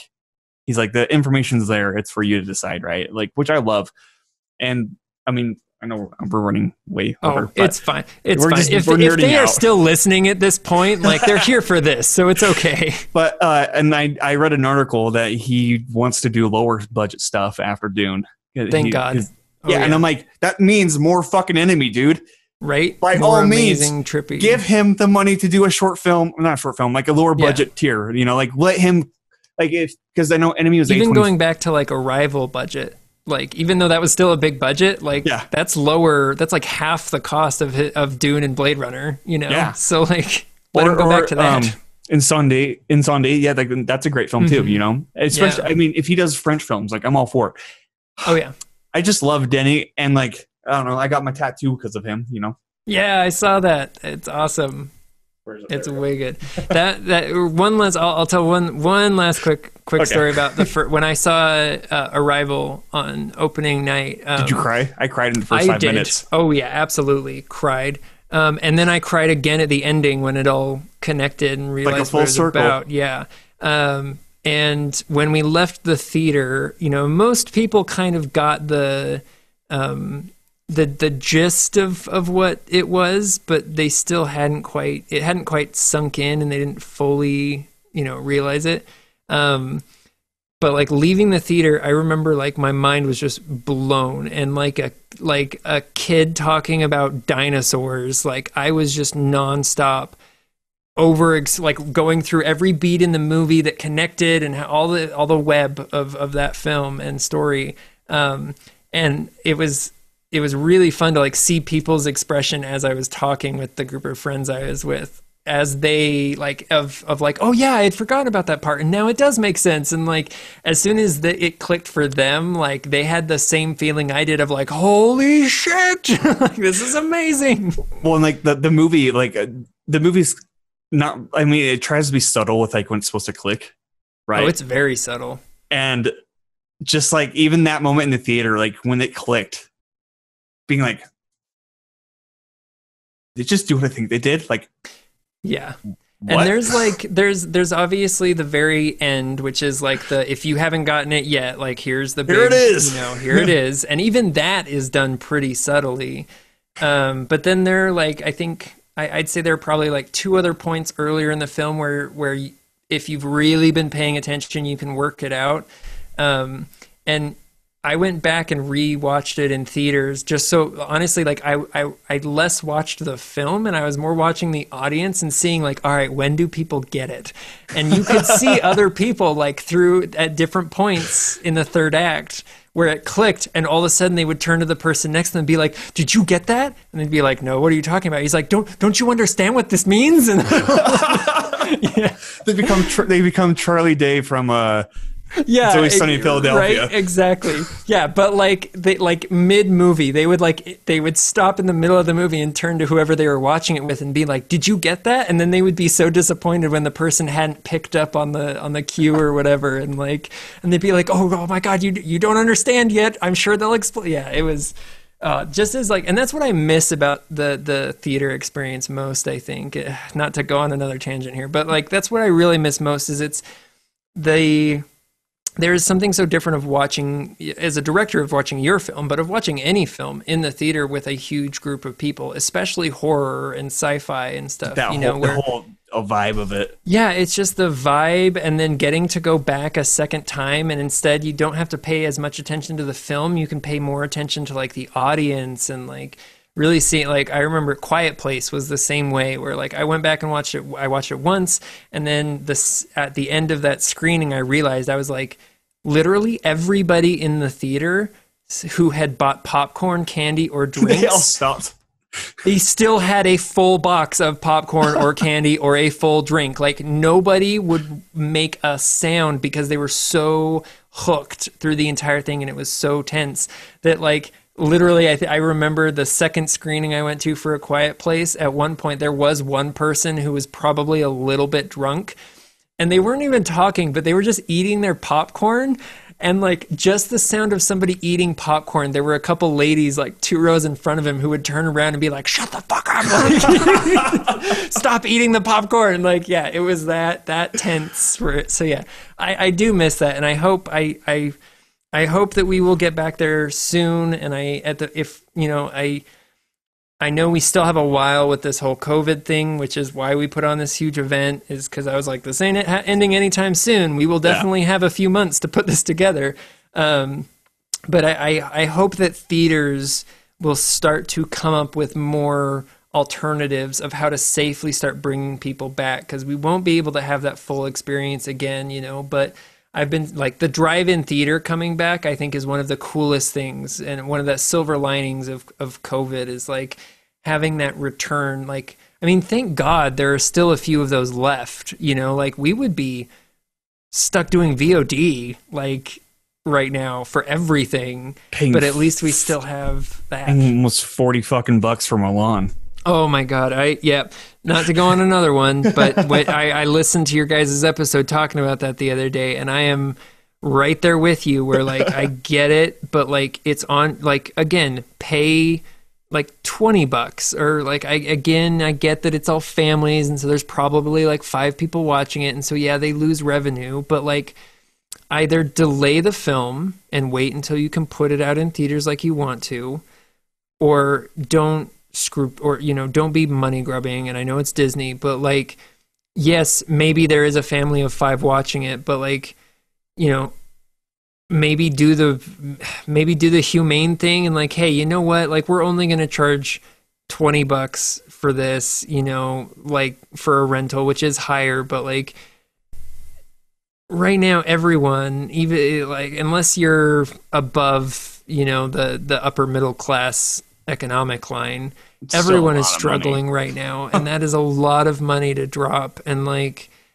you know it would have been can you imagine how good of a pr move it would have been like disney makes so much goddamn money and they're still making so much money even through quarantine like can you imagine how good of a PR move it would have been just to be like, hey, you know what? We know everybody is kind of depressed and struggling right now. So, like, anybody who got Disney Plus, we're just going to drop Mulan for 24 hours, you know, or for, for a weekend.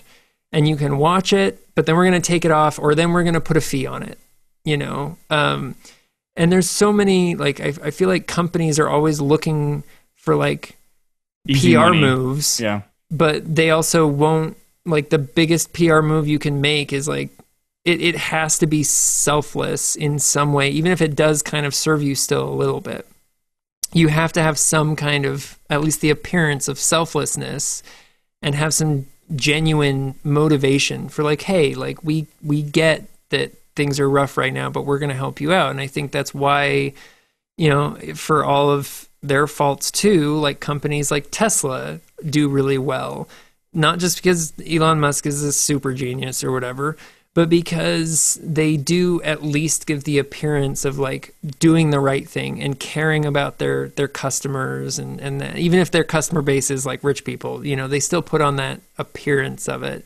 Um, and i think that's you know there are a lot of other examples of not just in the film industry but just across the board um, of companies who like you know what? Like we make plenty of money and it's okay that we just like lose a little bit right here. And not being trying to since we're wrapping up trying to put this back into film it is the same thing with producing where yes you have to make money. You need to pay your crew. You need to pay off your investors and all that stuff. But you can still do that in a genuine way. You can still have you know you can do that in a way that's not being money grubbing and and doing that is going to grow your audience far more than anything else you could possibly do because people see that and they want to reciprocate for it you know like that's why we we put on like we put on the event for free was like we we said yeah we could easily charge like four or five bucks, and that's not a lot of money.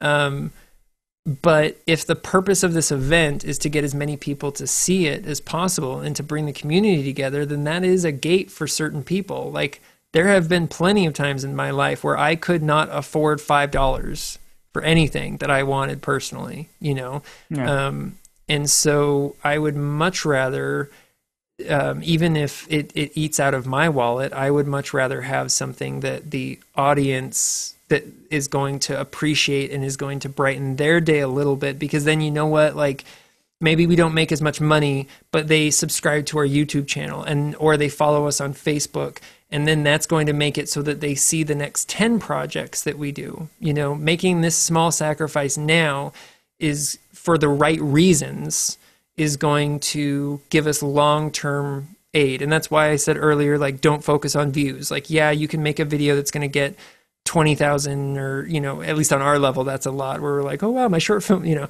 Um, but even if you got a million views or, or whatever it is, like, um, that's how long does that last really? Yeah. You know, and it's about that longevity and doing and always putting your audience first, whether it's through the storytelling or through your distribution or or through the, the people you work with and, and the and the the or the social issues that you stand up for um, always put the audience first and it will lead you to success it won't always work you know uh, denis definitely put the audience first with blade runner and it did not make its money back you know it, it struggled um, They still gave him Dune though. but they still gave him Dune. Like they gave him one of the biggest movies ever, you know, or going to be one of the most expensive movies or whatever, you know. And afterwards, again, just like you said, he's going to go back to indie films, and then people are going to be like, "Hell yeah, we'll throw like we saw what you did with a hundred million dollars, so here's fifty to do whatever the hell you want with," you know. So yeah, just just think about your audience, put them first, and genuinely care about them. If you are just using them for views, they're gonna figure it out. Yeah, eventually. don't be a Di- don't be a Disney. right. Don't be a Disney. That's that's the message here. Put out movies like Disney because they do make a lot of really good movies, but don't be like Disney as a company. like, Um, all right, Michael, let's wrap this up. Uh, what are your plugs? Where can people find you? Yeah, so uh, Borland River Media um, on Facebook and Instagram is the easiest way to find us. We do have a Facebook page for our upcoming short film. It's just Neighborhood Short Film um, on both Instagram and Facebook, I believe. I think one of them is just Neighborhood Short, and the other one's Neighborhood Short Film. But if you type it in, you'll you'll find it. Um, and yeah, B O R L A N D River Media um, on Facebook and Instagram. We post everything that we do there. We don't post a ton. I, I really wish I was better at social media sometimes, but um, every, you can find us there, um, or you can follow me personally on Instagram at Cosmicurious. It's like Cosmic Curious, but with only one C in the middle. Um, and yeah, other than that, like just hopefully you'll all come back when we do another one of these events and check out neighborhood. I think it's um, like we've been talking about it's a story that i think is really personal and that i think um, will have some impact on people because it is about loss and isolation. And you know we we had no idea how um, pertinent and applicable those those themes were going to be when we filmed it in February but you know, two months or a month later, it became very clear that um, those themes were a lot more relatable. Um, so yeah, I, I think that it, it, I think it's also just a really good story, and frankly, Justice Page, like his, even if this, even if everything else about it is crap, like it's worth watching just for the visuals because Justice is an incredible cinematographer and. It it looks so good. I actually had somebody who works in like the Hollywood industry um, paid the compliment that um, he he asked what camera it was shot on. We told him it was the Blackmagic Pocket 4K. Uh, and he said, honestly, if you hadn't have told me that, I would have thought you shot it on an Arri, like with with full cine primes, you know, like um, God damn it, and Justice. that that that all is that all is credited to Justice because yeah, he he can take a potato and turn it into a camera and make it just the most beautiful goddamn thing you've ever seen. He can make a potato look delicious as fuck. right. it, it, he made some peaches look delicious as fuck in this film. Like th- these are hmm. some really good looking peaches, Moving to the country. right? I love that song, and almost nobody's heard it. It's, it's I think it's a it's a '90s thing for us '90s kids. But yeah, I love that song. Dude, the music. Okay, just one last tangent. That music video is like all ninjas and it's fucking great. Anybody who has It's not seen it, it's Peaches by the Presidents of the United States. Yeah, it's one of the best music videos. It's so good. I love it. fucking fucking ninjas with peach trees. Yes, that, Yeah. that is correct. It is so worth it. But It's on the same level of like the safety dance music video where it's like a bunch of like people at a Renaissance fair, but then the the, band is just like still rocking out like it's you know, it's yeah, it's just the most bizarre, amazing thing and I love it. I love it. Yeah. Um, But yeah, right. thank you so much, dude. no, thank you. Uh, you can find me on Twitter, and Instagram. Find the face, not the Facebook, the podcast page on Facebook, Twitter, and Instagram, and all that shit. I'll be in the show notes. Woo. Um, Michael, thank you for coming on, dude. I appreciate Yeah, it. thank you. And check out Gaggle of Geeks. It seriously is such a good podcast. Like you guys do such a great job, and Oh. I, I look forward to it every week. So Thank you. If Yes. you haven't checked that out yet, check that out. Get Gaggle of Geeks every Friday. Um, Patrick Beatty's on that. He's been on the show twice now. So what a guy. okay, What a gent. Sir Michael. I hope you have a good night. You too, man. Thank you. It has been a, a really fun conversation, and thank you for anybody who's still listening. so three hours in, but it was worth it. It was a lot of fun. Thank you. Right now, you hold the record for the longest episode. So Damn, I feel, feel Kudos. proud. fuck yeah. okay, bye.